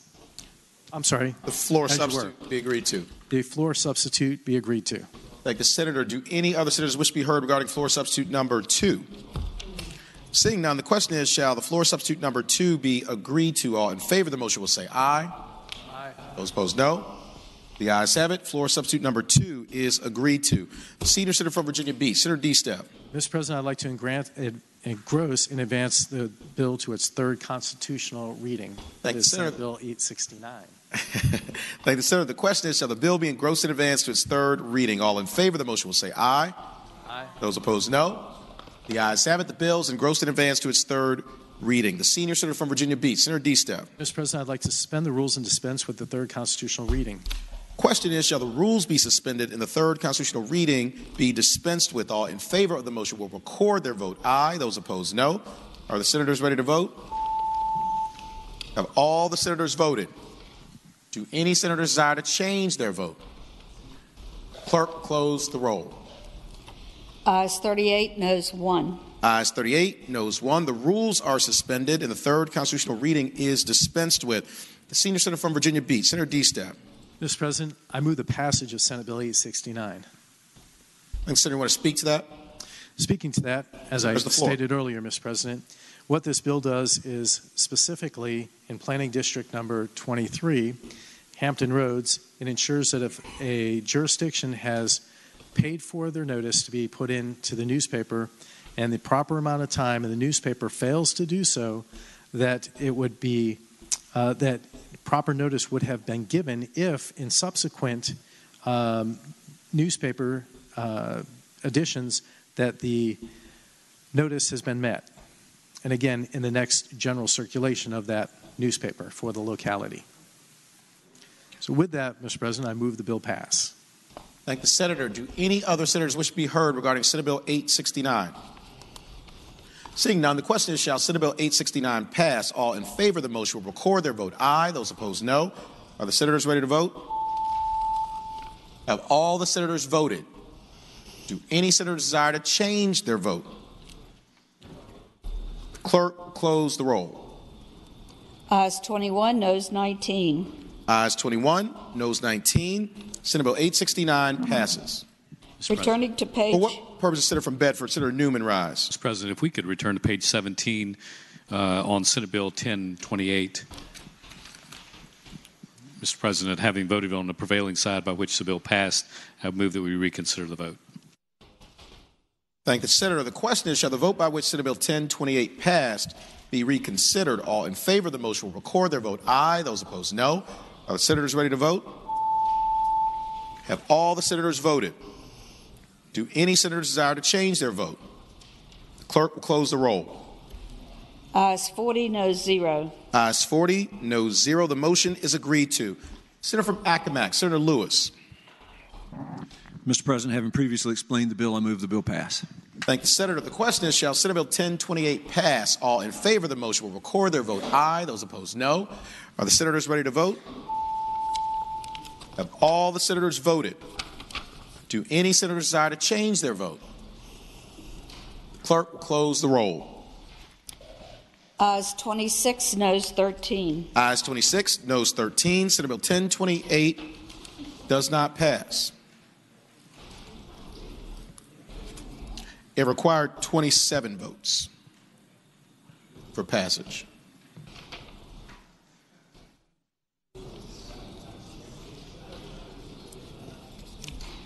Returning to page 16, Senate Bill 857. Senator from Alexandria, Senator Ebbin. Thank you, Mr. President. Could that bill go by for the day?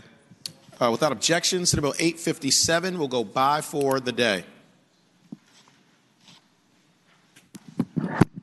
What purpose, Senator from Western Fairfax, Senator Marsden rise? Thank you, Mr. President. Having uh, voted on the prevailing side for which we passed Senate Bill 869, I would ask that we reconsider that vote. Which page are we on, Senator? Page, page number page number seven.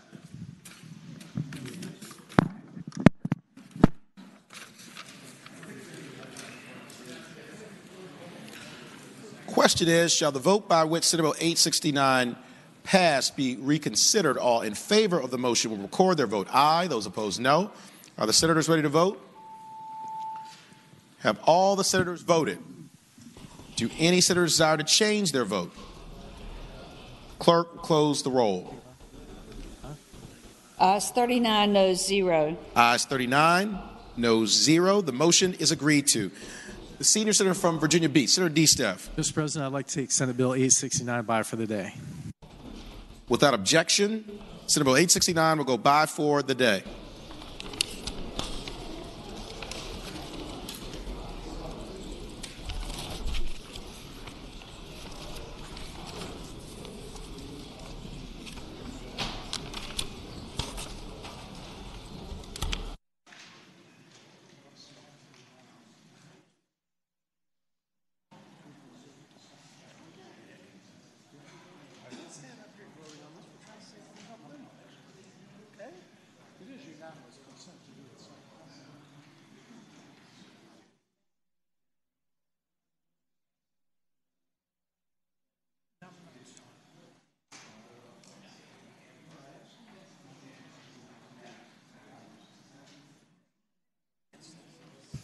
That's okay. I don't want it. Mr. President. Senator from Bedford, Senator Newman. Mr. President, um, let me get the bill. Mr. President, returning again to page 17. Senator, has the floor. Mr. President, I'm going to make a motion that we reconsider the vote by which the bill did not pass. And, Mr. President, it takes a unanimous vote. Uh, Mr. President, uh, I have over the last uh, many years voted against these. Uh, quite honestly, the city of Lynchburg asked me to do this, and I didn't think it was right for the city of Lynchburg, and I said no. But the reason for reconsidering it earlier was not to kill it for that, that purpose. Uh, Mr. President, there are occasionally um, items that we give as courtesies on this floor, and I would ask that we get it before us and allow it to go by for the day so that we can further consider it in the same way that we have considered other ones of the exact same nature for other localities. So, Mr. President, I would ask. Thank you, Senator. For what purpose, Senator from James City County, Senator Norment, rise. Uh, thank you, Mr. President. Speaking to the motion Senator, for the floor. reconsideration on the second occasion, and it does take the unanimous consent of the body. I would add to that immediately. Everybody needs to calm down for a second. You know, uh, the immediate accusations of retribution as a result of a senator casting a vote is very unladylike and very ungentlemanly. Like. And I say on behalf of the, the, my seatmate that he has every time, every time consistently voted against these bills. So for anyone to immediately assume that there was some kind of insidious political move here is absolutely foolishness. So I would respectfully ask my colleagues to consider granting unanimous consent for the reconsideration of the bill. I do not anticipate that my seatmate would change his vote on it because he has been consistent his entire legislative career. And then that we would pass it by for the day and allow the senator from downtown Accomack to see if he has any magic left in his in his wand. Thank the Senator. The pending motion is one for reconsideration on the second pass, which requires unanimous consent. The question is Shall the vote by which Senate Bill 1028 failed be reconsidered? All in favor of the motion will record their vote aye. Those opposed, no. Are the senators ready to vote? Have all the senators voted? Do any senators desire to change their vote? Clerk will close the roll. Ayes 40, no 0. Ayes 40, no 0. The motion is agreed to. Senator from Accomack, Senator Lewis. Mr. President, hoping that this geriatric has some magic left in his wand, I would ask that the bill go by for the day. Thank the senator. Uh, without objection, Senate Bill 1028 will go by for the day. Uncontested calendar, Senate bills on second reading. Senior Senator from Fairfax, Senator Saslaw. Mr. President, I move that all Senate bills on second reading on the uncontested calendar, it's pages 19 through 32, Senate Bill 919 through Senate Bill 1070, that's 1070, be advanced to their engrossment and third reading in a block after the adoption of any amendments thereto. Any senator desiring to remove a bill from that block, please do so after the clerk has read the number of the bill. Thank the senator. The question is Shall all Senate bills on second reading on the uncontested calendar on pages 19 through 32, Senate Bill 919 through Senate Bill 1070, be engrossed in advance to their third reading in the block after the adoption of any amendments thereto, and that any senator desiring a bill be removed from the block will do so after the clerk has read the number of the bill. All in favor of the motion will say aye. Those opposed, no. The ayes have it. The motion is agreed to. The clerk will read the number of the bills. Senate Bill 919, reported from the Committee on Finance and Appropriations with an amendment. Senator from Lynchburg, Senator Peake. Yes, sir, Mr. President. I move the uh, com- committee amendment be agreed to. Thank the senator. The question is, shall the committee amendment be agreed to? All in favor of the motion will say aye. Those opposed, no. The ayes have it. The committee amendment is agreed to. Senate Bill 989, reported from the Committee on Finance and Appropriations with an amendment. Senator from King George, Senator Stuart. Thank you, Mr. President. I move the amendment be adopted. Thank the senator. The question is, shall the committee amendment be adopted? All in favor of the motion will say aye. Those opposed, no. The ayes have it. The committee amendment is adopted. Senate Bill 50, reported from the Committee on General Laws and Technology. Senate Bill 59, reported from the Committee on the Judiciary with amendments. Senator from Augusta, Senator Hanger. Thank you, Mr. President. I move the committee amendments be agreed to. Thank the senator. The question is, shall the committee amendments be agreed to? All in favor of the motion will say aye. Those opposed, no. The ayes have it. The committee amendments are agreed to. Senate Bill 138, reported from the Committee on General Laws and Technology. Senate Bill 139, reported from the Committee on General Laws and Technology. Senate Bill 153, reported from the Committee on General Laws and Technology. Senate Bill 170, reported from the Committee on Education and Health with amendments. Senator from Hampton, Senator Locke. Thank you, Mr. President. I move that the amendments be agreed to. Thank the senator. The question is, shall the committee amendments be agreed to? All in favor of the motion will say aye. Those opposed, no. The ayes have it. The committee amendments are agreed to. Senate Bill 237, reported for the Committee on Education and Health with a substitute. Mr. President, I move that the substitute be adopted. Where are you? Right here. Senator from Southern Fairfax, Senator Barker. Question is, shall the committee substitute be adopted? All in favor of the motion will say aye. Those opposed, no. The ayes have it. The committee substitute is adopted. Senate Bill 264, reported for the Committee on Education and Health with an amendment. Senator from Loudoun, Senator Bell. Mr. President, I move the committee amendment. Thank you, senator. The question is, shall the committee amendment be adopted? All in favor of the motion will say aye. Those opposed, no. The ayes have it. The committee amendment is adopted. Senate Bill 313, reported from the Committee on Education and Health. Senate Bill 366, reported from the Committee on Education and Health. Senate Bill 385, reported from the Committee on General Laws and Technology with a substitute. Senator from Prince William, Senator McPike. Mr. President, can this come out of the block and by for the day? Without objection, Senate Bill 385 will come out of the block and go by for the day. Senate Bill 387, reported from the Committee on General Laws and Technology with a substitute. Senator from Prince William, Senator McPike. Mr. President, can this come out of the block? Without objection, and also by for the day? Uh, no. It's out of the block. Without objection, Senate Bill 387 will come out of the block. Senate Bill 392, reported from the Committee on Education and Health with a substitute. Senator from Prince William, Senator McPike. Mr. President, I move that the substitute be agreed to. Thank the senator. The question is, shall the committee substitute be agreed to? All in favor of the motion will say aye. Those opposed, no. The ayes have it. The committee substitute is agreed to. Senate Bill 397, reported from the Committee on Education and Health with a substitute. The junior senator from Virginia Beach, Senator Kiggans. Mr. President, I move that the committee substitute be agreed to. Thank the senator. The question is, shall the committee substitute be agreed to? All in favor of the motion will say aye. Those opposed, no. The ayes have it. The committee substitute is agreed to. Senate Bill 463, reported from the Committee on Education and Health with amendments. Senator from Spotsylvania, Senator Reeves. Thank you, Mr. President. I would uh, move the committee amendments. Thank the Senator. The question is, shall the committee amendments be adopted? All in favor of the motion will say aye. Those opposed, no. The ayes have it. The committee amendments are adopted. Senate Bill 540, reported from the Committee on Education and Health with amendment. Senator from Fauquier, Senator Vogel. Thank you, Mr. President. I move that the amendment be agreed to. Thank you, Senator. The question is, shall the committee amendment be agreed to? All in favor of the motion will say aye.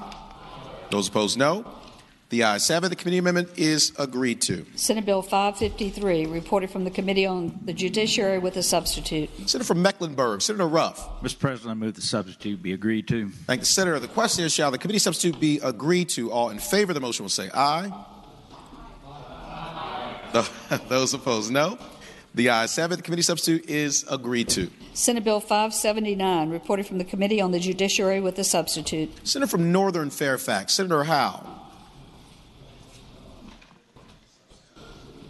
I move the substitute be agreed to. Thank you, Senator. The question is, shall the committee substitute be agreed to? All in favor of the motion will say aye. Those opposed, no. The ayes have it. The committee substitute is agreed to. Senate Bill 633, reported from the Committee on Education and Health with a substitute. Senator from Fauquier, Senator Vogel.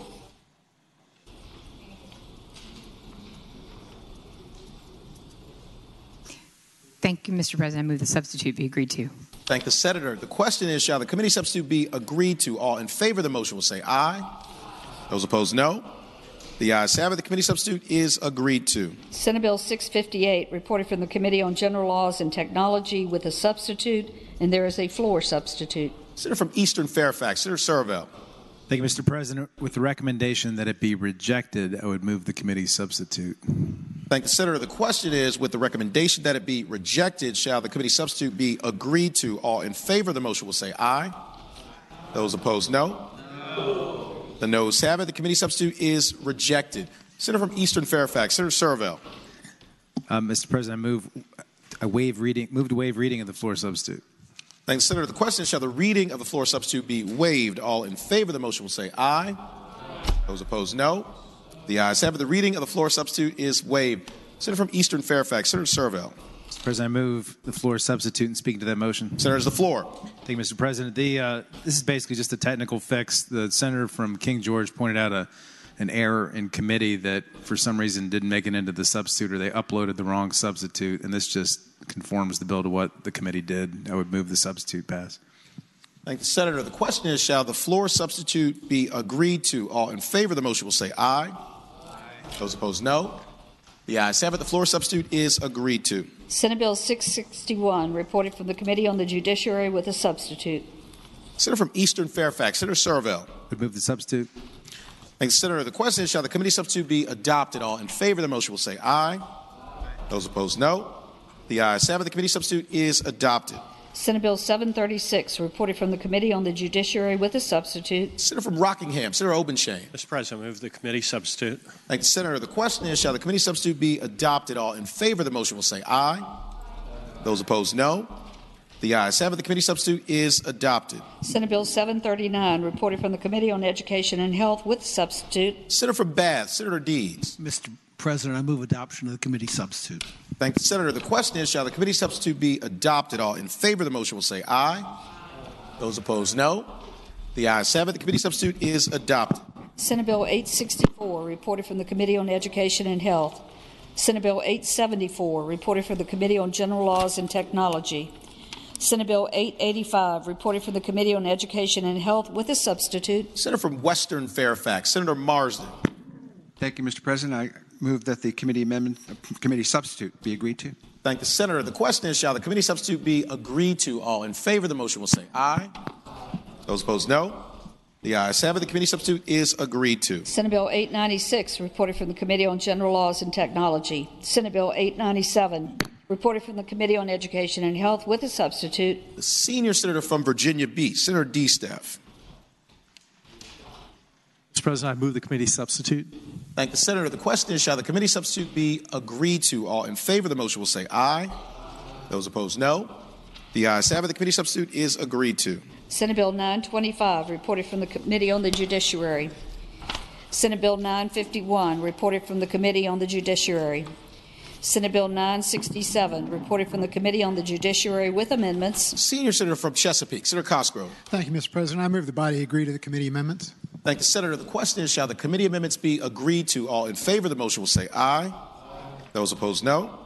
The ayes have it. The committee amendments are agreed to. Senate Bill 993, reported from the Committee on Education and Health with a substitute. Senator from Hampton, Senator Locke. Thank you, Mr. President. I move that the substitute be agreed to. Thank the Senator. The question is, shall the committee substitute be agreed to? All in favor of the motion will say aye. Those opposed, no. The ayes have it. The committee substitute is agreed to. Senate Bill 1044, reported from the Committee on General Laws and Technology with a substitute, and there is a floor substitute. Senator from Prince William County, Senator McPike. Thank you, Mr. President. With the recommendation that the substitute be rejected, I move the substitute be agreed to. Thank the Senator. Question is, with the recommendation that it be rejected, shall the Senate agree to the committee's substitute? All in favor of the motion will say aye. Those opposed, no. No. The noes have it. The committee substitute is rejected. Senator from Prince William County, Senator McPike. Thank you, Mr. President. I move the waive the reading of the floor substitute. Thank you, Senator. The question is, shall the reading of the floor substitute be waived? All in favor of the motion will say aye. Aye. Those opposed, no. The ayes have it. The reading of the floor substitute is waived. Senator from Prince William County, uh, Senator McPike. Thank you, Mr. President. I move that we agree to the substitute and speaking to that motion. Senator has the floor. Uh, this Section 1 bill now uh, just clarifies from the, what was seen in committee for the Section 1 uh, to establish the requirements of the licensure versus issue the license. So that is the clarif- uh, clarifying nature of this substitute and move that to be agreed to. Thank the Senator. For what purpose, Senator from Northern Chesapeake? Senator Spruill rise.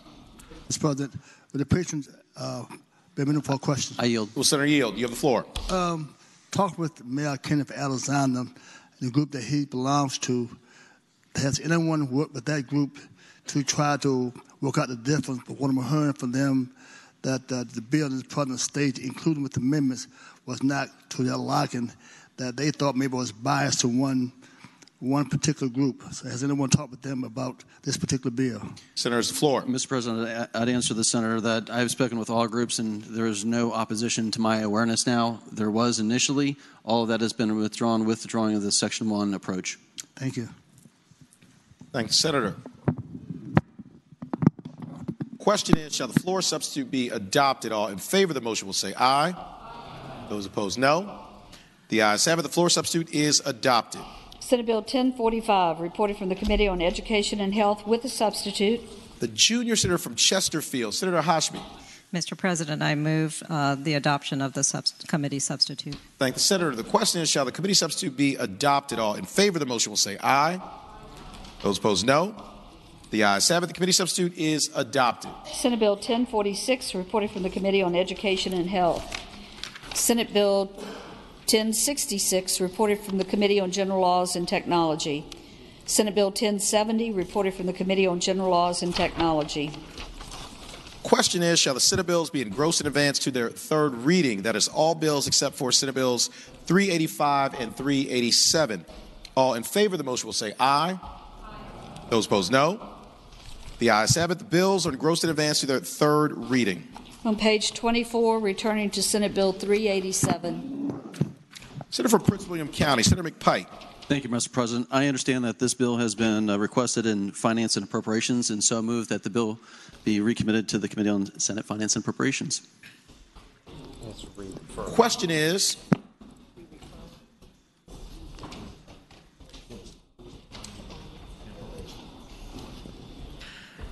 Question is, shall Senate Bill 387 be re-referred to the Committee on Finance and Appropriations? All in favor of the motion will say aye. Those opposed, no. The ayes have it. The bill is re-referred to the Committee on Finance and Appropriations. Regular calendar. Senate bills on second reading. Senate Bill 251. A bill relating to pharmacy benefits managers, license, and regulation. Reported from the Committee on Commerce and Labor with a substitute, and there are two floor amendments. Senator from Roanoke City, Senator Edwards. Mr. President, I move the substitute. Thank the senator. The question is, shall the committee substitute be adopted? All in favor of the motion will say aye. Aye. Those opposed, no. The ayes have it. The committee substitute is adopted.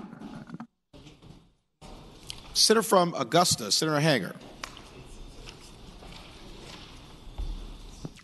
Thank you, Mr. President. Uh, I move that we waive the reading of my proposed floor amendment. Thank the senator. The question is, shall the reading of the floor amendment be waived? All in favor of the motion will say aye. Aye. Those opposed, no. The ayes have it. The reading of the floor amendment is waived. Senator from Augusta, Senator Hanger. Thank you, Mr. President and members of the Senate. Uh, Senate Bill uh, 251, proposed by my seatmate uh, from Roanoke, is a good bill in terms that it basically sets up a requirement that PBMs, pharmacy benefit managers, uh, be licensed, and it sets up a regulatory scheme or how regulations will be in place to provide oversight uh, for PBMs.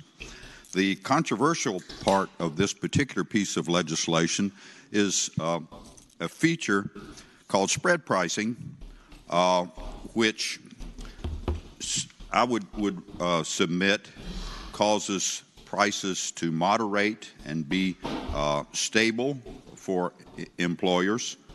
There are others who would suggest that if we eliminate spread pricing, it would be helpful in controlling uh, the costs of pharmaceuticals. I think we're all concerned about the cost of pharmaceuticals and want to do whatever we can to control those costs. But uh, here's basically the essence of, of the amendment.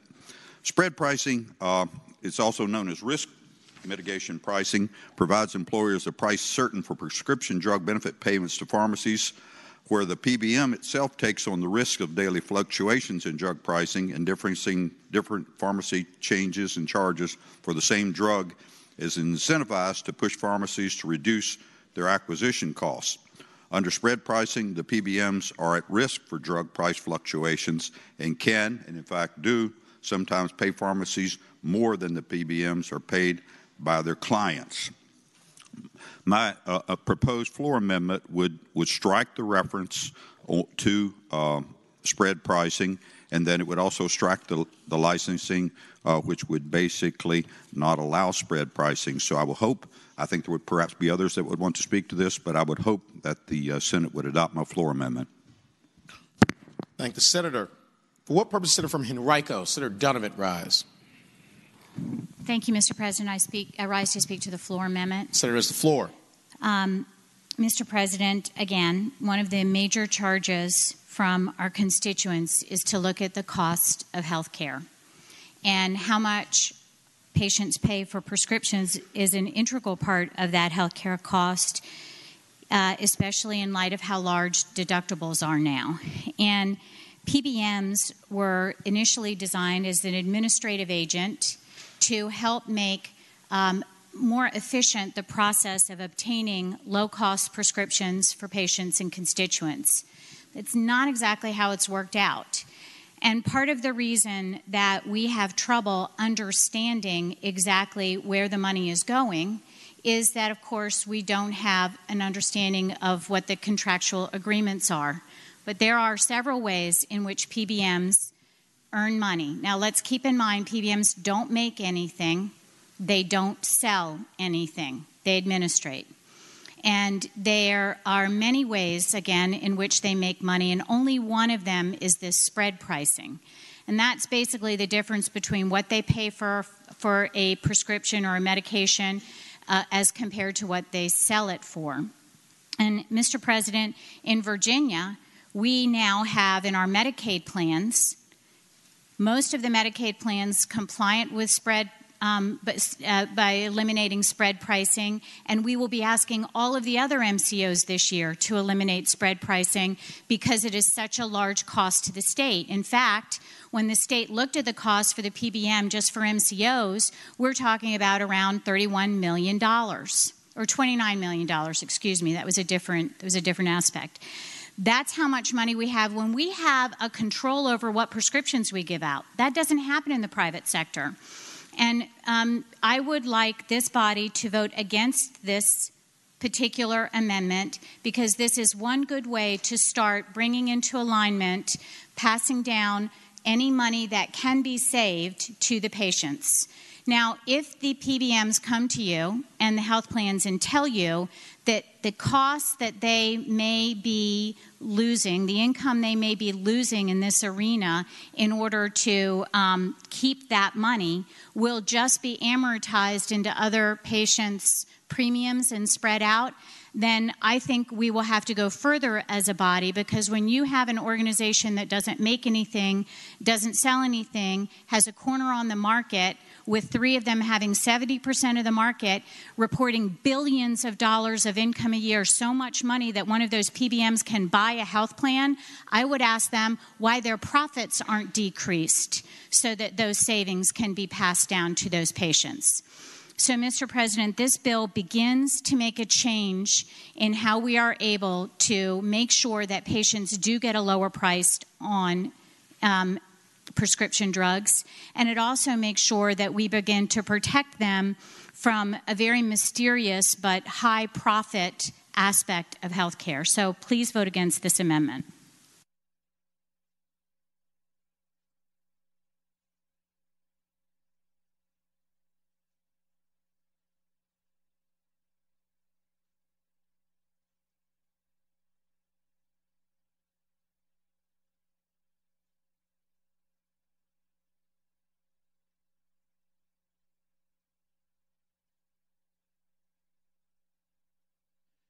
What purpose, Senator from Roanoke City, Senator Edwards rise? Uh, Mr. President, uh, I would hope that it'd be the pleasure of the body to vote against the floor amendment, vote no on the floor amendment. What the floor amendment does is um, is to abolish the abolition of spread pricing. That is, it would allow spread pricing. We want to abolish spread pricing. Let me tell you why. First of all, this bill was put in, and the thrust of the bill is to license pharmaceutical benefit managers by the State Corporation Commission to provide transparency in what they're doing. Pharmaceutical benefit managers were initially set up by insurance companies to manage um, prescription drug benefits. That's a good idea. The problem is, is total lack of transparency. And what the pharmaceutical benefit managers are doing is using what is known as spread pricing, as opposed to pass through pricing, passing it through and charging administrative costs so everybody knows what's going on. Instead, spread pricing is a method by which the, the price spread is the difference between what pharmaceutical benefit managers pay uh, for the, manuf- the manufacturers for the drugs and the difference and what the pharmaceutical benefit managers uh, charge uh, the insurance companies or the the uh, managed care providers or the, or individuals. And the difference that difference is what they keep. And the process means they're making millions and billions of dollars. And if you want to know why the price of medic- prescription medication has gone up and up and up, is because of the method that pharmaceutical benefit managers are using, uh, including the process of spread pricing. For example, um, the study, numerous studies have shown that spread pricing results in higher premiums and costs, and not a single study exists to show that spread pricing controls costs versus other methods of pricing.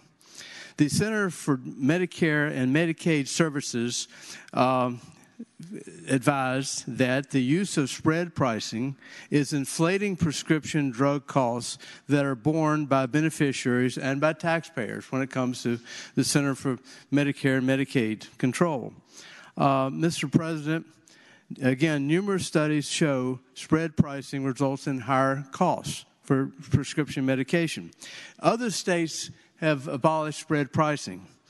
Uh, for example, Pennsylvania, um, between 2013 and 2017, found that taxpayers paid pharmaceutical benefit managers under the Medicaid uh, system more than double the price from 2013 to 2017. From taxpayers were paying 1.4 billion in 2013 and 2.8 billion uh, in 2017 pharmaceutical benefit managers uh, in in uh, Ohio pocketed 220, almost 225 million dollars just through spread pricing alone. And just in one year in Kentucky, a state report found that pharmaceutical benefit managers kept 100, almost 100, $123.5 million in spread pricing annually in Louisiana. Uh, pharmaceutical benefit managers retained $42 million that was incorrectly listed as, quote, medical costs. In New York State, 32% markup in generic drugs. Uh, in other words, PBMs are using uh, the concept of spread pricing uh, in a way that's detrimental uh, to the taxpayers and detrimental to the payers who happen to be voters in, in the long run, the insurance companies as well. So, Mr. President, in Virginia, a state commission report on Medicaid found that pharmaceutical benefit managers pocketed $29 million in spread pricing alone, not including rebates.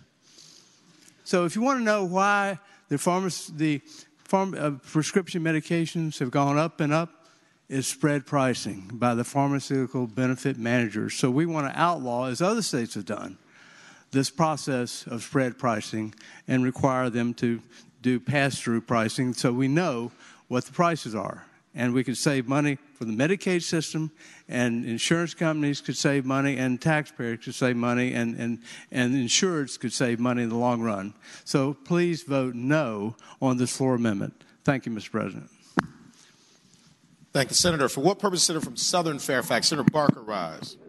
Uh, Mr. President, I rise to speak to the floor amendment. Senator, the floor. Uh, Mr. President, I rise to speak in favor of this particular floor amendment.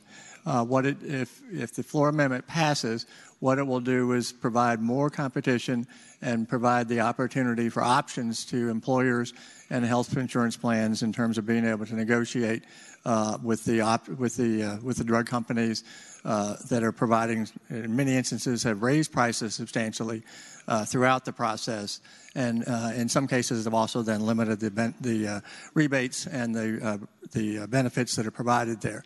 what we have right now, as has been referenced by the senator from Roanoke, is that there are two methods in which the pharmacy benefit managers are involved in, in the in effect bringing down the price of the drug from what is the list price at the drug manufacturers to what is the price that is paid uh, with distribution to the pharmacies and others. Uh, those two methods are, as cited by the senator from Roanoke, uh, pass through and spread pricing. At various times and in various situations, both of those have been the ones that were most cost effective there. My concern is that if we go to only a single uh, category of operation there, that in essence we will have limited the ability of pharmacy benefit managers and the, uh, the pharmacists and others uh, to be able to uh, negotiate the prices uh, in ways that provide the best benefit and the best option for their, uh, their customers. there are a lot of things that are that need to be fixed. Uh, as it relates to pharmacy benefit managers and some of these types of things. Uh, some of those were certainly addressed from the senator from Henrico uh, as it relates to uh, transparency, licensing, those types of things.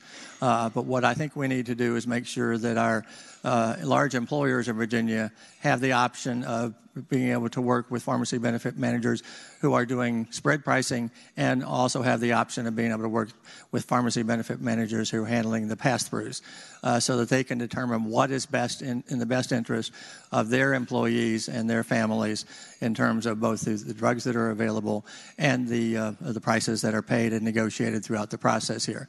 So I think it really comes down to a matter of do we provide the employers and the plans the ability to get the best deal uh, in, in the, at, at the current situation. And it may be that in one uh, year, one method is going to provide, provide them the best deal for their employees, for their uh, and those and their families. It may be that the next year the alternative approach would be better for them, and so it allows them that option to be able to switch back and forth. Right now, many of the plans have moved from away from uh, some uh, spread pricing to uh, to, to, pass through, but not all of them at this point.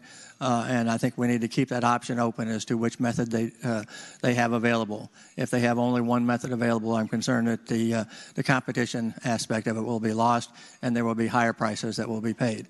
With that, I would urge that the uh, body vote yes on this proposed floor amendment from the senator from Augusta. Thank the senator. For what purpose does the senior senator from Chesapeake, Senator Cosgrove, rise? Speak to the floor amendment. Senator has the floor. Ladies and gentlemen, I, I hope that you'll listen to Senator Edwards and Senator Dunnavant and, and others. Um, these PBMs, you know, they've, they've been a problem for a while. If you talk to your small pharmacist, not Walgreens, not CVS, not Rite Aid, but your small independent pharmacists, they will tell you they definitely need this bill as it is and not with the floor substitute.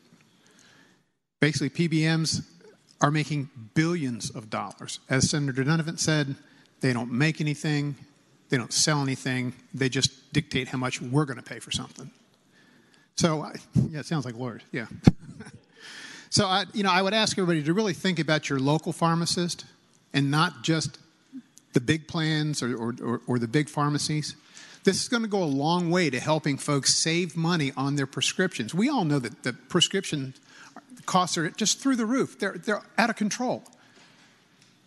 Passing the bill as it came out of committee is one way for us to help make a difference in prescription drug costs in the Commonwealth of Virginia. I hope we will not adopt the, the uh, substitute. Thank you. Thank the senator. Do any other senators wish to be heard regarding the floor amendments? Seeing none, the question is Shall the floor amendments be adopted? All in favor of the motion will say aye. Aye. Those opposed, no. No. The noes have it. The floor amendments are not adopted.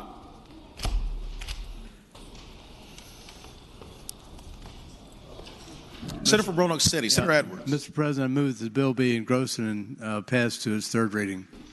Thank the senator. The question is Shall the bill be engrossed in advance to its third reading? All in favor of the motion will say aye. Aye. Those opposed, no. The ayes have it. The bill is engrossed in advance to its third reading. Senate Bill 404, a bill relating to health insurance short-term limited duration medical plans. Reported from the Committee on Commerce and Labor with amendments. The junior senator from Chesterfield, Senator Hashmi. Mr. President, I ask that we pass the bill by for a day as we continue to work on amendments. Thank the senator. Without objection, Senate Bill 404 will go by for the day. Senate Bill 65, a bill relating to voter identification, repeal of photo identification requirements. Reported from the Committee on Privileges and Elections with a substitute, and there is a floor substitute. Senator from Eastern Fairfax, Senator Surovell. Thank you, Mr. President. I would ask that the committee substitute go by temporarily so we can get to the floor substitute. No. So we don't do that here. So uh, uh, I guess you can reject. Okay, Mr. President, then with the recommendation that we reject it, I would move that we accept the committee substitute. Uh, the question is, with the recommendation that it be rejected, shall the committee substitute be adopted? All in favor of the motion will say aye. Those opposed, no. No. the noes have it. The committee substitute is rejected. Senator from Eastern Fairfax, Senator Surovell. Thank you, Mr. President. I move that we waive reading of the floor substitute. Question is, shall the reading of the floor substitute be waived? All in favor of the motion will say aye. Aye. Those opposed, no. The ayes have it. The reading of the floor substitute is waived. Senator from Eastern Fairfax, Senator Surovell. Thank you, Mr. President. Didn't know so many people wanted to read the floor substitute, but I would now move the floor substitute pass and speaking to that motion. Senator, is the floor. Thank you, Mr. President. Ladies and gentlemen of the Senate, this bill is the uh, bill that repeals the voter ID requirements that were enacted in 2014 and 2012, the work of um, the senator from Rockingham mostly, and also Delegate Cole. Uh, for those of you who remember, in 2014, uh, we passed, the, the General Assembly passed legislation saying that you could not vote unless you could present valid government issued photo identification. Um, in 2012, the General Assembly repealed the provision by which if you showed up without ID, you could vote by signing a statement under penalty of felony that you were the person who you said you were. The floor substitute, or sorry, the committee substitute you had took the law back to 2014. This floor substitute takes it back to before 2012.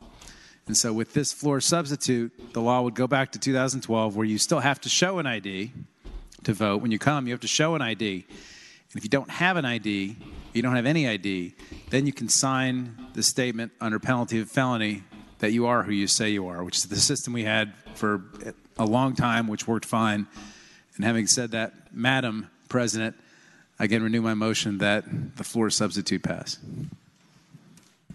The question is, shall the floor substitute pass? Madam President. The senator from Rockingham, Senator Obenshain. I, I will only briefly rise to say I hope we do not pass this uh, floor substitute and also to point out that uh, I, I, get uh, too much credit in that the former senator from Chesterfield, Senator Martin, led the charge on this for a long time. So I certainly want to stand up and protect Steve Martin's hard work. The question is, the question is, shall the floor substitute be adopted? All in favor of the motion will say aye. aye. Those have the same right? No. The ayes have it. This floor substitute is agreed to. Senator Locke. The senator from Hampton, Senator Locke. I move that the bill, Senate Bill 65 be engrossed and advanced to its third reading. The question is, shall the bill be engrossed and advanced to its third reading? All in favor of the motion say aye. aye. No saying right. The ayes have it. The bill is engrossed and advanced to its third reading. Senate Bill 28, a bill relating to eminent domain cost, reported from the Committee on the Judiciary with amendments. The senator from Eastern Fairfax County, Senator Surovell. I'm sorry, Senator from Fairfax City, Senator Petersen. Thank you. Do I look uh, like? Thank you. Okay. Thank you, Madam President. I move the committee amendments. The question is Shall the committee amendment be agreed to? All in favor of the motion say aye. Aye. Those opposed, no. Ayes have it. Committee amendment is agreed to. The senator from Fairfax City, Senator Petersen. Thank you, Madam President. I move the bill be engrossed and passed on to the third reading. The question is Shall the bill be engrossed and advanced to its third reading? All in favor of the motion say aye. aye. Those opposed, no. The ayes have it. The bill is engrossed and advanced to its third reading. Senate Bill 140, a bill relating to the Virginia Freedom of Information Act, public institutions of higher education, information related to pledges and donations. Reported from the Committee on General Laws and Technology with amendment. The senator from King George, Senator Stuart. Thank you, Madam President. I move the amendment be adopted. The question is, shall the committee amendment to Senate Bill 140 be adopted? All in favor of the motion will say aye. aye. Those opposed, no. The ayes have it. The motion is,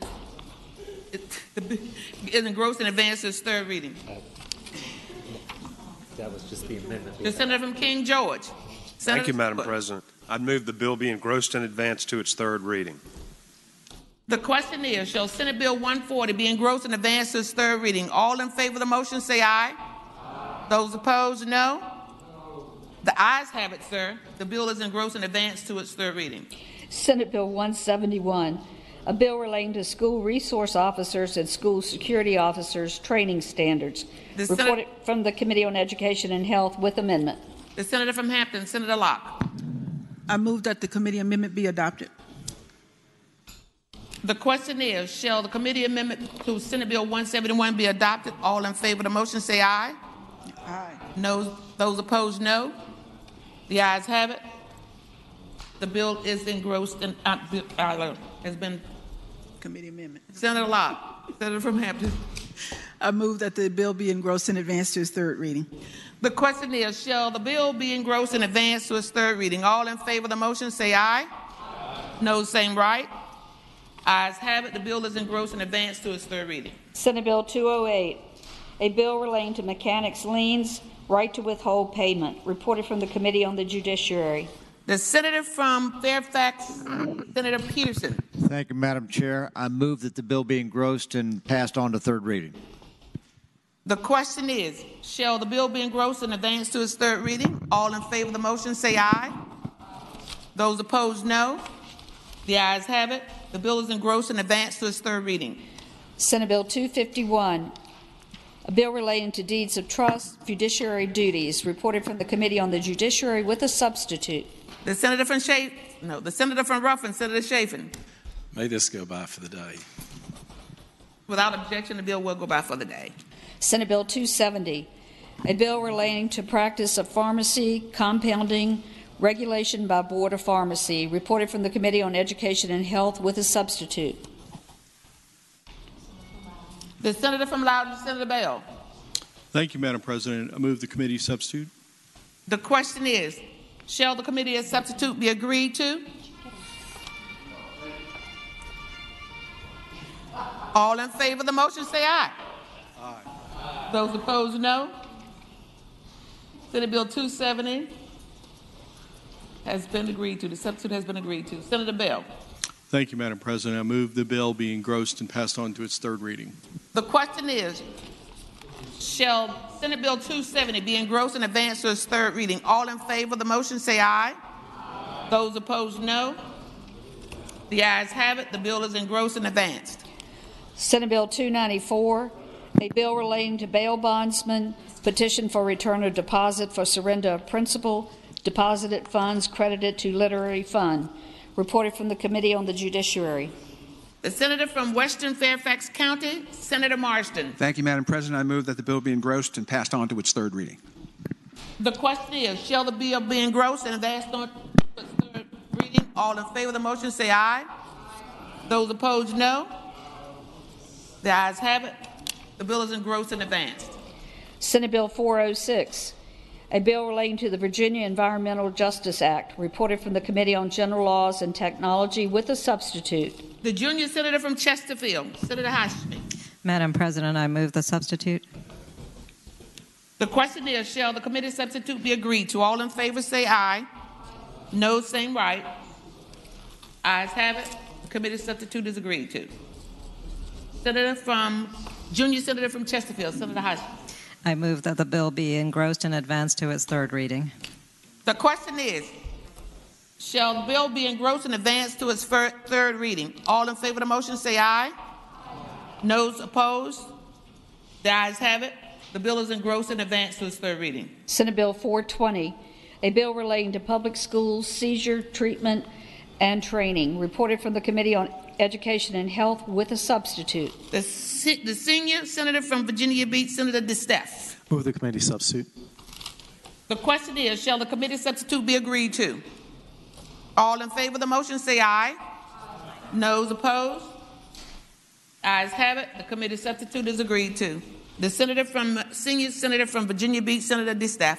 Move the engrossment and advancement to the third constitutional reading. The question is, shall the bill be engrossed and advanced to its third reading? All in favor of the motion say aye. Those opposed, no. The bill is engrossed and advanced to its third reading. Senate Bill 422, a bill relating to health regulatory boards, reported from the Committee on Education and Health. The senator from Fairfax City, Senator Petersen. Thank you, Madam Chair. I move that the bill be engrossed and passed along to third reading. The question is, shall the bill be engrossed and passed on to its third reading? All in favor of the motion say aye. Those opposed, no. The bill is engrossed and advanced to its third reading. Senate Bill 429, a bill relating to withholding of income for child support independent contracts. The senator reported to the from the Committee on the Judiciary with amendment. I am so sorry, Madam Clerk. I'm in too big a hurry. The senator from Eastern Fairfax County, Senator Surovell. Thank you, Madam President. I uh, move the bill. I move the committee amendments. The question is, shall the committee amendments be agreed to? All in favor of the motion will say aye. aye. Those opposed, no. The committee amendments are agreed to. The senator from Eastern Fairfax County, Senator Surovell. Thank you, Madam President. I move the bill be advanced, gross and gross and advanced to its third reading. The question is, shall the bill be engrossed and advanced to its third reading? All in favor of the motion say aye. aye. Those opposed, no. Senate Bill 429 is engrossed and advanced to its third reading. Senate Bill 491, a bill relating to inquiry and report of immigration status, persons charged with or convicted of certain crimes, reported from the Committee on the Judiciary. The senator from Eastern Fairfax County, Senator Surovell. Thank you, Madam President. I move this bill go by for the day. Without objection, Senate Bill 491 will go by for the day. Senate Bill 492, a bill relating to sex offenses requiring registration, reported from the Committee on the Judiciary. The senator from Eastern Fairfax County, Senator Surovell. Thank you, Madam President. I move the bill be engrossed and advanced to its third reading. The question is, shall the bill be engrossed and advanced to its third reading? All in favor of the motion will say aye. Those opposed, no. The bill is engrossed and advanced to its third reading.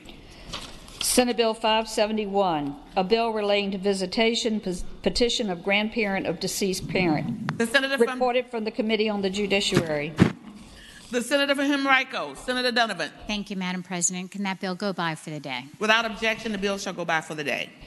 Senate Bill 645, a bill relating to local arbitration agreements. Reported from the Committee on General Laws and Technology with a substitute. The senator from Eastern Fairfax County, Senator Surovell. Thank you, Madam President. I move the committee substitute. The question is, shall the committee substitute be agreed to? All in favor of the motion will say aye. Aye. Those opposed, no. The committee substitute is agreed to. The senator from Eastern Fairfax County, Senator Surovell. Move the bill be engrossed and advanced to its third reading. The question is, shall the bill be engrossed and advanced to its third reading? All in favor of the motion will say aye. Those opposed, no. The bill is engrossed and advanced to its third reading. Senate Bill 693, a bill relating to common law defense, defense of intra-family immunity abolished in certain cases. Reported from the Committee on the Judiciary. The senator from Rockingham, Senator Obenshain. Uh, Madam President, I move that the bill be engrossed and advanced to its third reading. The question is, shall the bill be engrossed and advanced to its third reading? All in favor of the motion will say aye. Those opposed, no. Senate Bill 693 is engrossed and advanced to its third reading. Senate Bill 697, a bill relating to execution of will witnesses. Reported from the Committee on the Judiciary. Senator Obenshain, the senator from Rockingham. Thank you, Madam President. I move that the bill be engrossed and advanced to its third reading. The question is, shall the bill be engrossed and advanced to its third reading? All in favor of the motion will say aye. aye. Those opposed, no. Senate Bill 697 is engrossed and advanced. Senate Bill 700, a bill relating to indexing of wills. Reported from the Committee on the Judiciary. The senator from Rockingham, Senator Obenshain. Madam President, I move that the bill be engrossed and advanced to its third reading. The question is, shall the bill be engrossed and advanced to its third reading? All in favor of the motion will say aye. Those opposed, no. Senate Bill 700 is engrossed and advanced to its third reading. Senate Bill 708, a bill relating to housing, housing authorities' notice of intent to demolish, liquidate, or- or otherwise dispose of housing projects. Reported from the Committee on General Laws and Technology with amendments. The senior senator from Richmond City, Senator McClellan. Thank you, Madam President. I move that the committee amendment be adopted. The question is, shall the committee amendment be adopted? All in favor of the motion will say aye. Aye. Those opposed, no. Senate Bill 708, the committee amendment is adopted. The senator from, senior senator from Richmond City, Senator McClellan. Thank you, Ms. Thank you, Madam President. I move that Senate Bill 708 be engrossed and passed to its third reading. The question is, shall the bill be engrossed and advanced to its third reading? All in favor of the motion say aye. Aye. Those opposed, no. Senate Bill 708 is engrossed and advanced to its third reading. Senate Bill 713, a bill relating to Board of Counseling licensure professional art therapists and professional art therapist associates. Reported from the Committee on Education and Health with a substitute. The senior senator from Richmond City, Senator McClellan. Thank you, Madam President. I move the committee substitute be adopted. The question is, shall the, shall, shall the committee substitute be adopted? All in favor of the motion, say aye. Aye. Those opposed, no. Senate Bill 713, this committee substitute is adopted. The senator from uh, Richmond City, senior senator from Richmond City, Senator McClellan. Thank you, Madam President. I move that Senate Bill 713 be engrossed and passed to its third reading. The question is, shall the bill be engrossed and advanced to its third reading? All in favor of the motion will say aye. Those opposed, no. The bill is engrossed and advanced to its third reading. Senate Bill 845, a bill relating to local school boards and mold testing parental notification. Reported from the Committee on Education and Health with a substitute. The senator from Alexandria, Senator Ebbin. Thank you, Madam President. I um, move the um, committee substitute. The question is, shall the committee substitute be agreed to? All in favor of the motion say aye. aye. Those opposed, no. The committee substitute is agreed to. The senator from Alexandria, Senator Uh, Ebbin. I move that uh, Senate Bill 845 be engrossed and advanced to its third reading. The question is, shall Senate Bill 840, 845 be engrossed and advanced to its third reading? All in favor of the motion will say aye. Aye. Those opposed, no. The bill is engrossed and advanced to its third reading. Senate Bill 868, a bill relating to prohibited discrimination, public accommodations, employment, housing, and credit, causes of action, sexual orientation, and gender identity. Reported from the Committee on General Laws and Technology with a substitute. The senator from Alexandria, Senator Ebbin. Uh, Madam President, could that go by for the day? Without objection, the bill shall go by for the day. Senate Bill 920, a bill relating to surrogacy contracts, provisions requiring abortions or selective reductions unenforceable. Reported from the Committee on the Judiciary with amendments. The senator from Lynchburg, Senator Peake. Thank you, Madam President. I move that the committee amendments be agreed to. The question is, shall the committee amendments be agreed to? All in favor of the motion will say aye. Aye. Those opposed, no. The committee amendments are agreed to. Then, Madam President, I move Senator that, from Lynchburg, Senator Peake. I move that the bill be engrossed and advanced to its third constitutional reading. The question is, shall the bill be engrossed and advanced to its third constitutional reading? All in favor of the motion will say aye. Those opposed, no.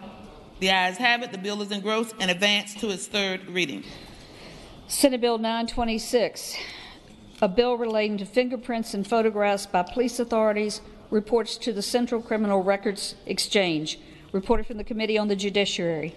The senator from Lynchburg, Senator Peake. Yes, ma'am, Madam President, I move that the bill be engrossed and advanced to its third constitutional reading. The question is, shall the bill be engrossed and advanced to its third constitutional reading? All in favor of the motion will say aye. Those opposed, no. The ayes have it. The bill is engrossed and advanced to its third constitutional reading. Uncontested calendar, Senate bills on first reading.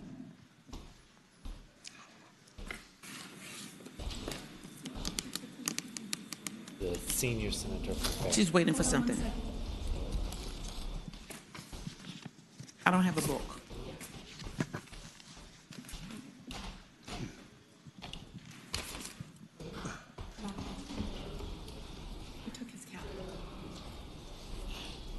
The real lieutenant governor took the book with him. Oh, boy.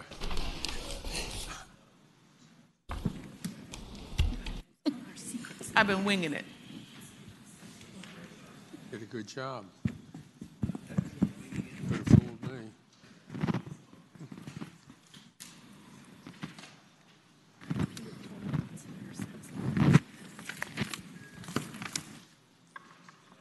The senior senator from Fairfax County, Senator Saslaw. Madam President, uh, I move that all Senate bills on the first reading on the uncontested and regular calendar, that's pages 43 through 57, that's Senate Bill 77 through Senate Bill 1035, that's 1035, that the rules be suspended and the first constitutional readings of the titles be dispensed with. The question is Shall the rules be suspended and the first reading of the titles of Senate bills on the uncontested and regular calendar, pages 43 through 57, Senate Bill 77 through Senate Bill 1035, be dispensed with? All in favor of the motion will record their votes aye, and those opposed no. Are the senators ready to vote? Have all senators voted? Do any senator desire to change their vote? The clerk will close the roll. Ayes 40, no 0. Ayes 40, noes 0. The reading is dispensed with. The constitutional reading is dispensed with. Page 57. The question is, shall, oh, I forgot about you. Um, the senior senator from Fairfax County, Senator Fab, Senator Saslaw. I now move, uh, Madam President, that those said bills go by for the day.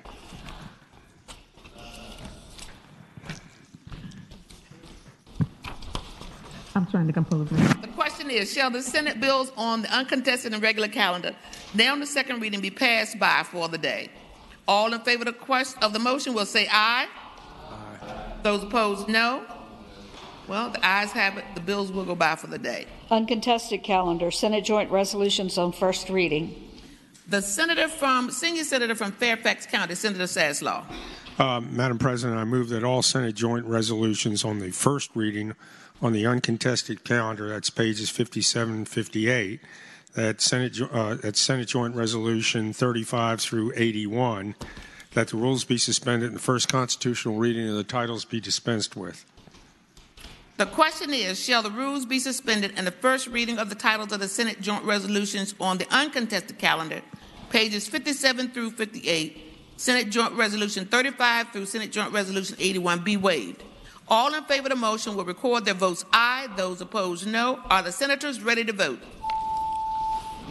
Have all senators voted? Do any senator desire to change their vote? The clerk will close the roll. Ayes 40, no 0. Ayes 40, no zero. The reading has been waived in the block. The senior senator from Fairfax County, Senator Saslaw.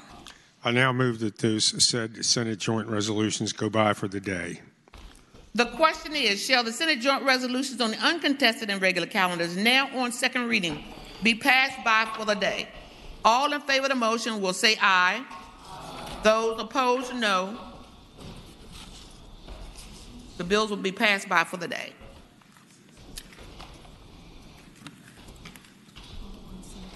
The senior senator from Fairfax County, Senator Saslaw. Madam President, I inquire of the clerk to complete the calendar for today. Yes, sir. We do have one Senate resolution to take up. Madam President.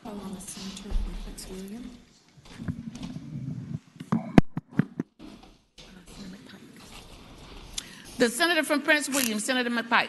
Thank you, Madam President. I move that the rules be suspended and Senate Resolution number 17 at the end of the calendar be taken up for immediate consideration. The question is, shall the rules be suspended and Senate Joint Resolution 17 be taken up for immediate consideration? All in favor of that motion will record their votes aye. Those opposed, no. Are the senators ready to vote? Have all senators voted? Do any senator desire to change their votes? The clerk will close the roll. Ayes 40, noes 0. Ayes 40, no 0. Senate Resolution Number 17, commending James McAllister. The senator from Prince William, Senator McPike. Thank you, Madam President. I move that the resolution be agreed to. The question is, shall the resolution be agreed to? All in favor of the motion will, re- will say aye. Those opposed, no. Ayes have it. SJR 17 is agreed to. The senator from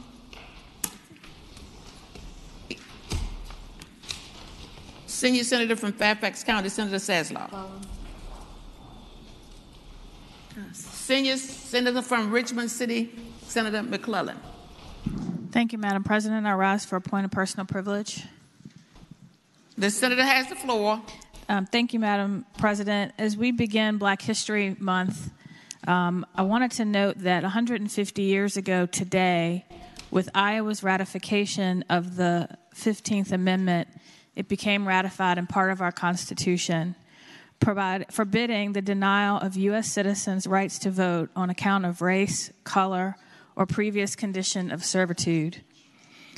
The prior year, Virginia ratified both the 15th and the 14th Amendment, and in 1867, the first African American men voted in Virginia. Approximately over 105,000 registered to vote, and 93,145 voted for delegates to create a new constitution that would allow Virginia to be readmitted to the Union. 24 of the delegates to that convention were African American men. After that convention, after that convention and that constitution were adopted in 1869, 24 African American men were elected to the House of Delegates and 6 were elected to the Senate. very briefly, I want to tell you who those six of our colleagues were.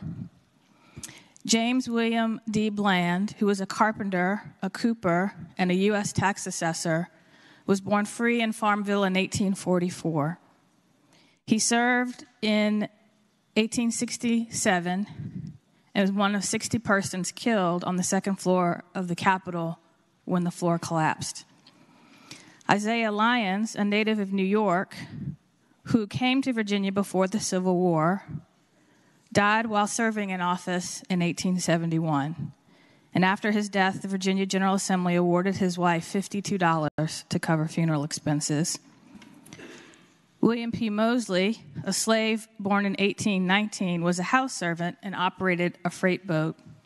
He obtained his freedom before the Civil War and represented Goochland County in the Constitutional Convention and in the Senate. He ran for Congress as a Republican in 1880, but was ref- defeated by the Readjuster Party. Francis Frank Moss was a farmer and minister born free in 1825 in Buckingham County. He served in the Constitutional Convention, in the House of Delegates representing Buckingham, and in the Senate from 1869 to 1871. John Robinson was born in 1822, a lawyer and graduate of Hampton Institute. He represented Cumberland County in the convention and in the Senate until 1873. He worked as a mail carrier, operated a saloon and a general store in the 1870s. And George Teamoh, a carpenter born a slave in Portsmouth in 1818. An accomplished orator, he was a delegate to the Virginia Black Convention of 1865 and was a Union League organiz- organizer. He served in the Constitutional Convention, but generally remained silent. He served in the Senate from 1869 to 1871, and due to party factionalism, was, was denied renomination to the Senate, but ran unsuccessfully for the House of Delegates. Unfortunately, these six individuals and their 24 colleagues down the hall were lost to history until another one of our colleagues, Senator Yvonne Miller, wanting to do a speech on Black History Month, asked Brenda Edwards in Legislative Services to research who the first African Americans were to serve in this body. Thanks to that question and Brenda Edwards' tireless research, we were able to pass a resolution in, in uh, 2012 recognizing all of the African American men who served during Reconstruction and in the Constitutional Convention, and their plaques listing all of their names downstairs. Unfortunately, we don't always teach our history in school, but through the tireless efforts of those individuals who keep their stories alive, we can get it right and recognize them officially as we have done and as I hope we continue to do for the rest of this month. Thank you, Mr. President. Thank the Senator. For what purpose does the senior senator from Virginia Beach, Senator DeSteph, rise? Mr. President, I rise for a point of personal privilege. Senator has the floor. Mr. President, let's roll back 50 years. 50 years ago, the Kansas City Chiefs beat the, beat the Minnesota Vikings 1970. They beat them 20, 23 to 7. 50 years later, yesterday, the Kansas City Chiefs beat San Francisco 49ers 31 to 20. I've worn this tie almost every Monday. It's a Kansas City Chiefs tie. Very proud of that tie. Patrick Mahomes and the Kansas City Chiefs did a fantastic job yesterday, Mr. President. I just wanted to bring that to the attention of everybody in this body and wanted to uh, pass on to the uh, senator from Chesapeake that yes, it is Kansas City Chiefs Day. Thank you very much. Thank the senator.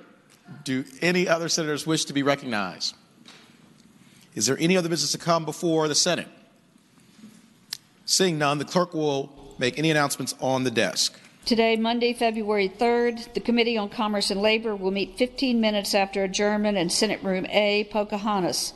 The Education and Health Subcommittee on Higher Education will meet one half hour after adjournment, Senate Subcommittee Room 2, fifth floor, Pocahontas. Senators Locke, Petersen, Cosgrove, Chafin, and Hashmi. The Finance and Appropriations Subcommittee on Health and Human Resources will meet at 4 p.m. Senate Subcommittee Room 1, fifth floor, Pocahontas. Senators Howell, Hanger, Vogel, Barker, Deeds, Ebbin, and McClellan. The Judiciary Subcommittee on Civil Law will meet at 4 p.m. Senate Subcommittee Room 3, fifth floor, Pocahontas. Senators Petersen, Lucas, Norment, Obenshain, Chafin, McClellan, and Boysko. The Northern Virginia delegation will meet at 5 p.m. Senate Leadership Conference Room, sixth floor, Pocahontas. Tomorrow, Tuesday, February 4th, the Finance and Appropriations Subcommittee on Economic Development and Natural Resources will meet at 7:30 a.m. Senate Subcommittee Room 1, fifth floor, Pocahontas. Senators Marsden, Ruff, Howell, Saslaw, Hanger, and Barker. The Finance and Appropriations Subcommittee on General Government will meet at 7:30 a.m. Senate Leadership Conference Room, sixth floor, Pocahontas. Senators Petersen, Newman, Lucas, Vogel, Locke, and Ebbin. The General Laws and Technology Subcommittee on Gaming will meet at 8 a.m. Senate Room A, Pocahontas. Senators McPike, Ebbin, Mason, Boysko, Bell, Ruff, Donovan, Pellion, and Kiggans. The Committee on Finance and Appropriations will meet at 9 a.m. Committee Room B, Pocahontas. The Rehabilitation and Social Services Subcommittee on ABC will not meet. This is a schedule change. Rehab and Social Services Subcommittee on ABC will not meet. The Democratic Caucus will meet at 11:30 a.m. Senate Room 1, Capitol. The Republican Caucus will meet at 11:30 a.m. in Senate Room 2, Capitol. Thank you, Madam Clerk. What purpose Senator from Roanoke City? Senator Edwards rise. Mr. President, I'd like to advise the clerk and the body that there's been a change in the membership of the Civil Law Subcommittee. Instead of Senator McClellan, it'd be Senator Surovell. Senator McClellan is now a member of the Criminal Law Subcommittee of the Judiciary Committee. Thank the Senator. For what purpose Senator from James City County? Senator Norment rise.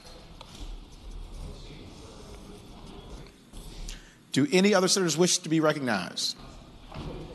Seeing none, call the senator from Portsmouth, Senator Lucas. Thank you, Mr. President. I move that the Senate do now adjourn and that we do so until 12 noon tomorrow. Thank the Senator. The question is Shall the Senate stand adjourned until 12 noon tomorrow? All in favor of the motion will say aye. Those opposed, no. The ayes have it. The Senate stands adjourned until 12 noon tomorrow.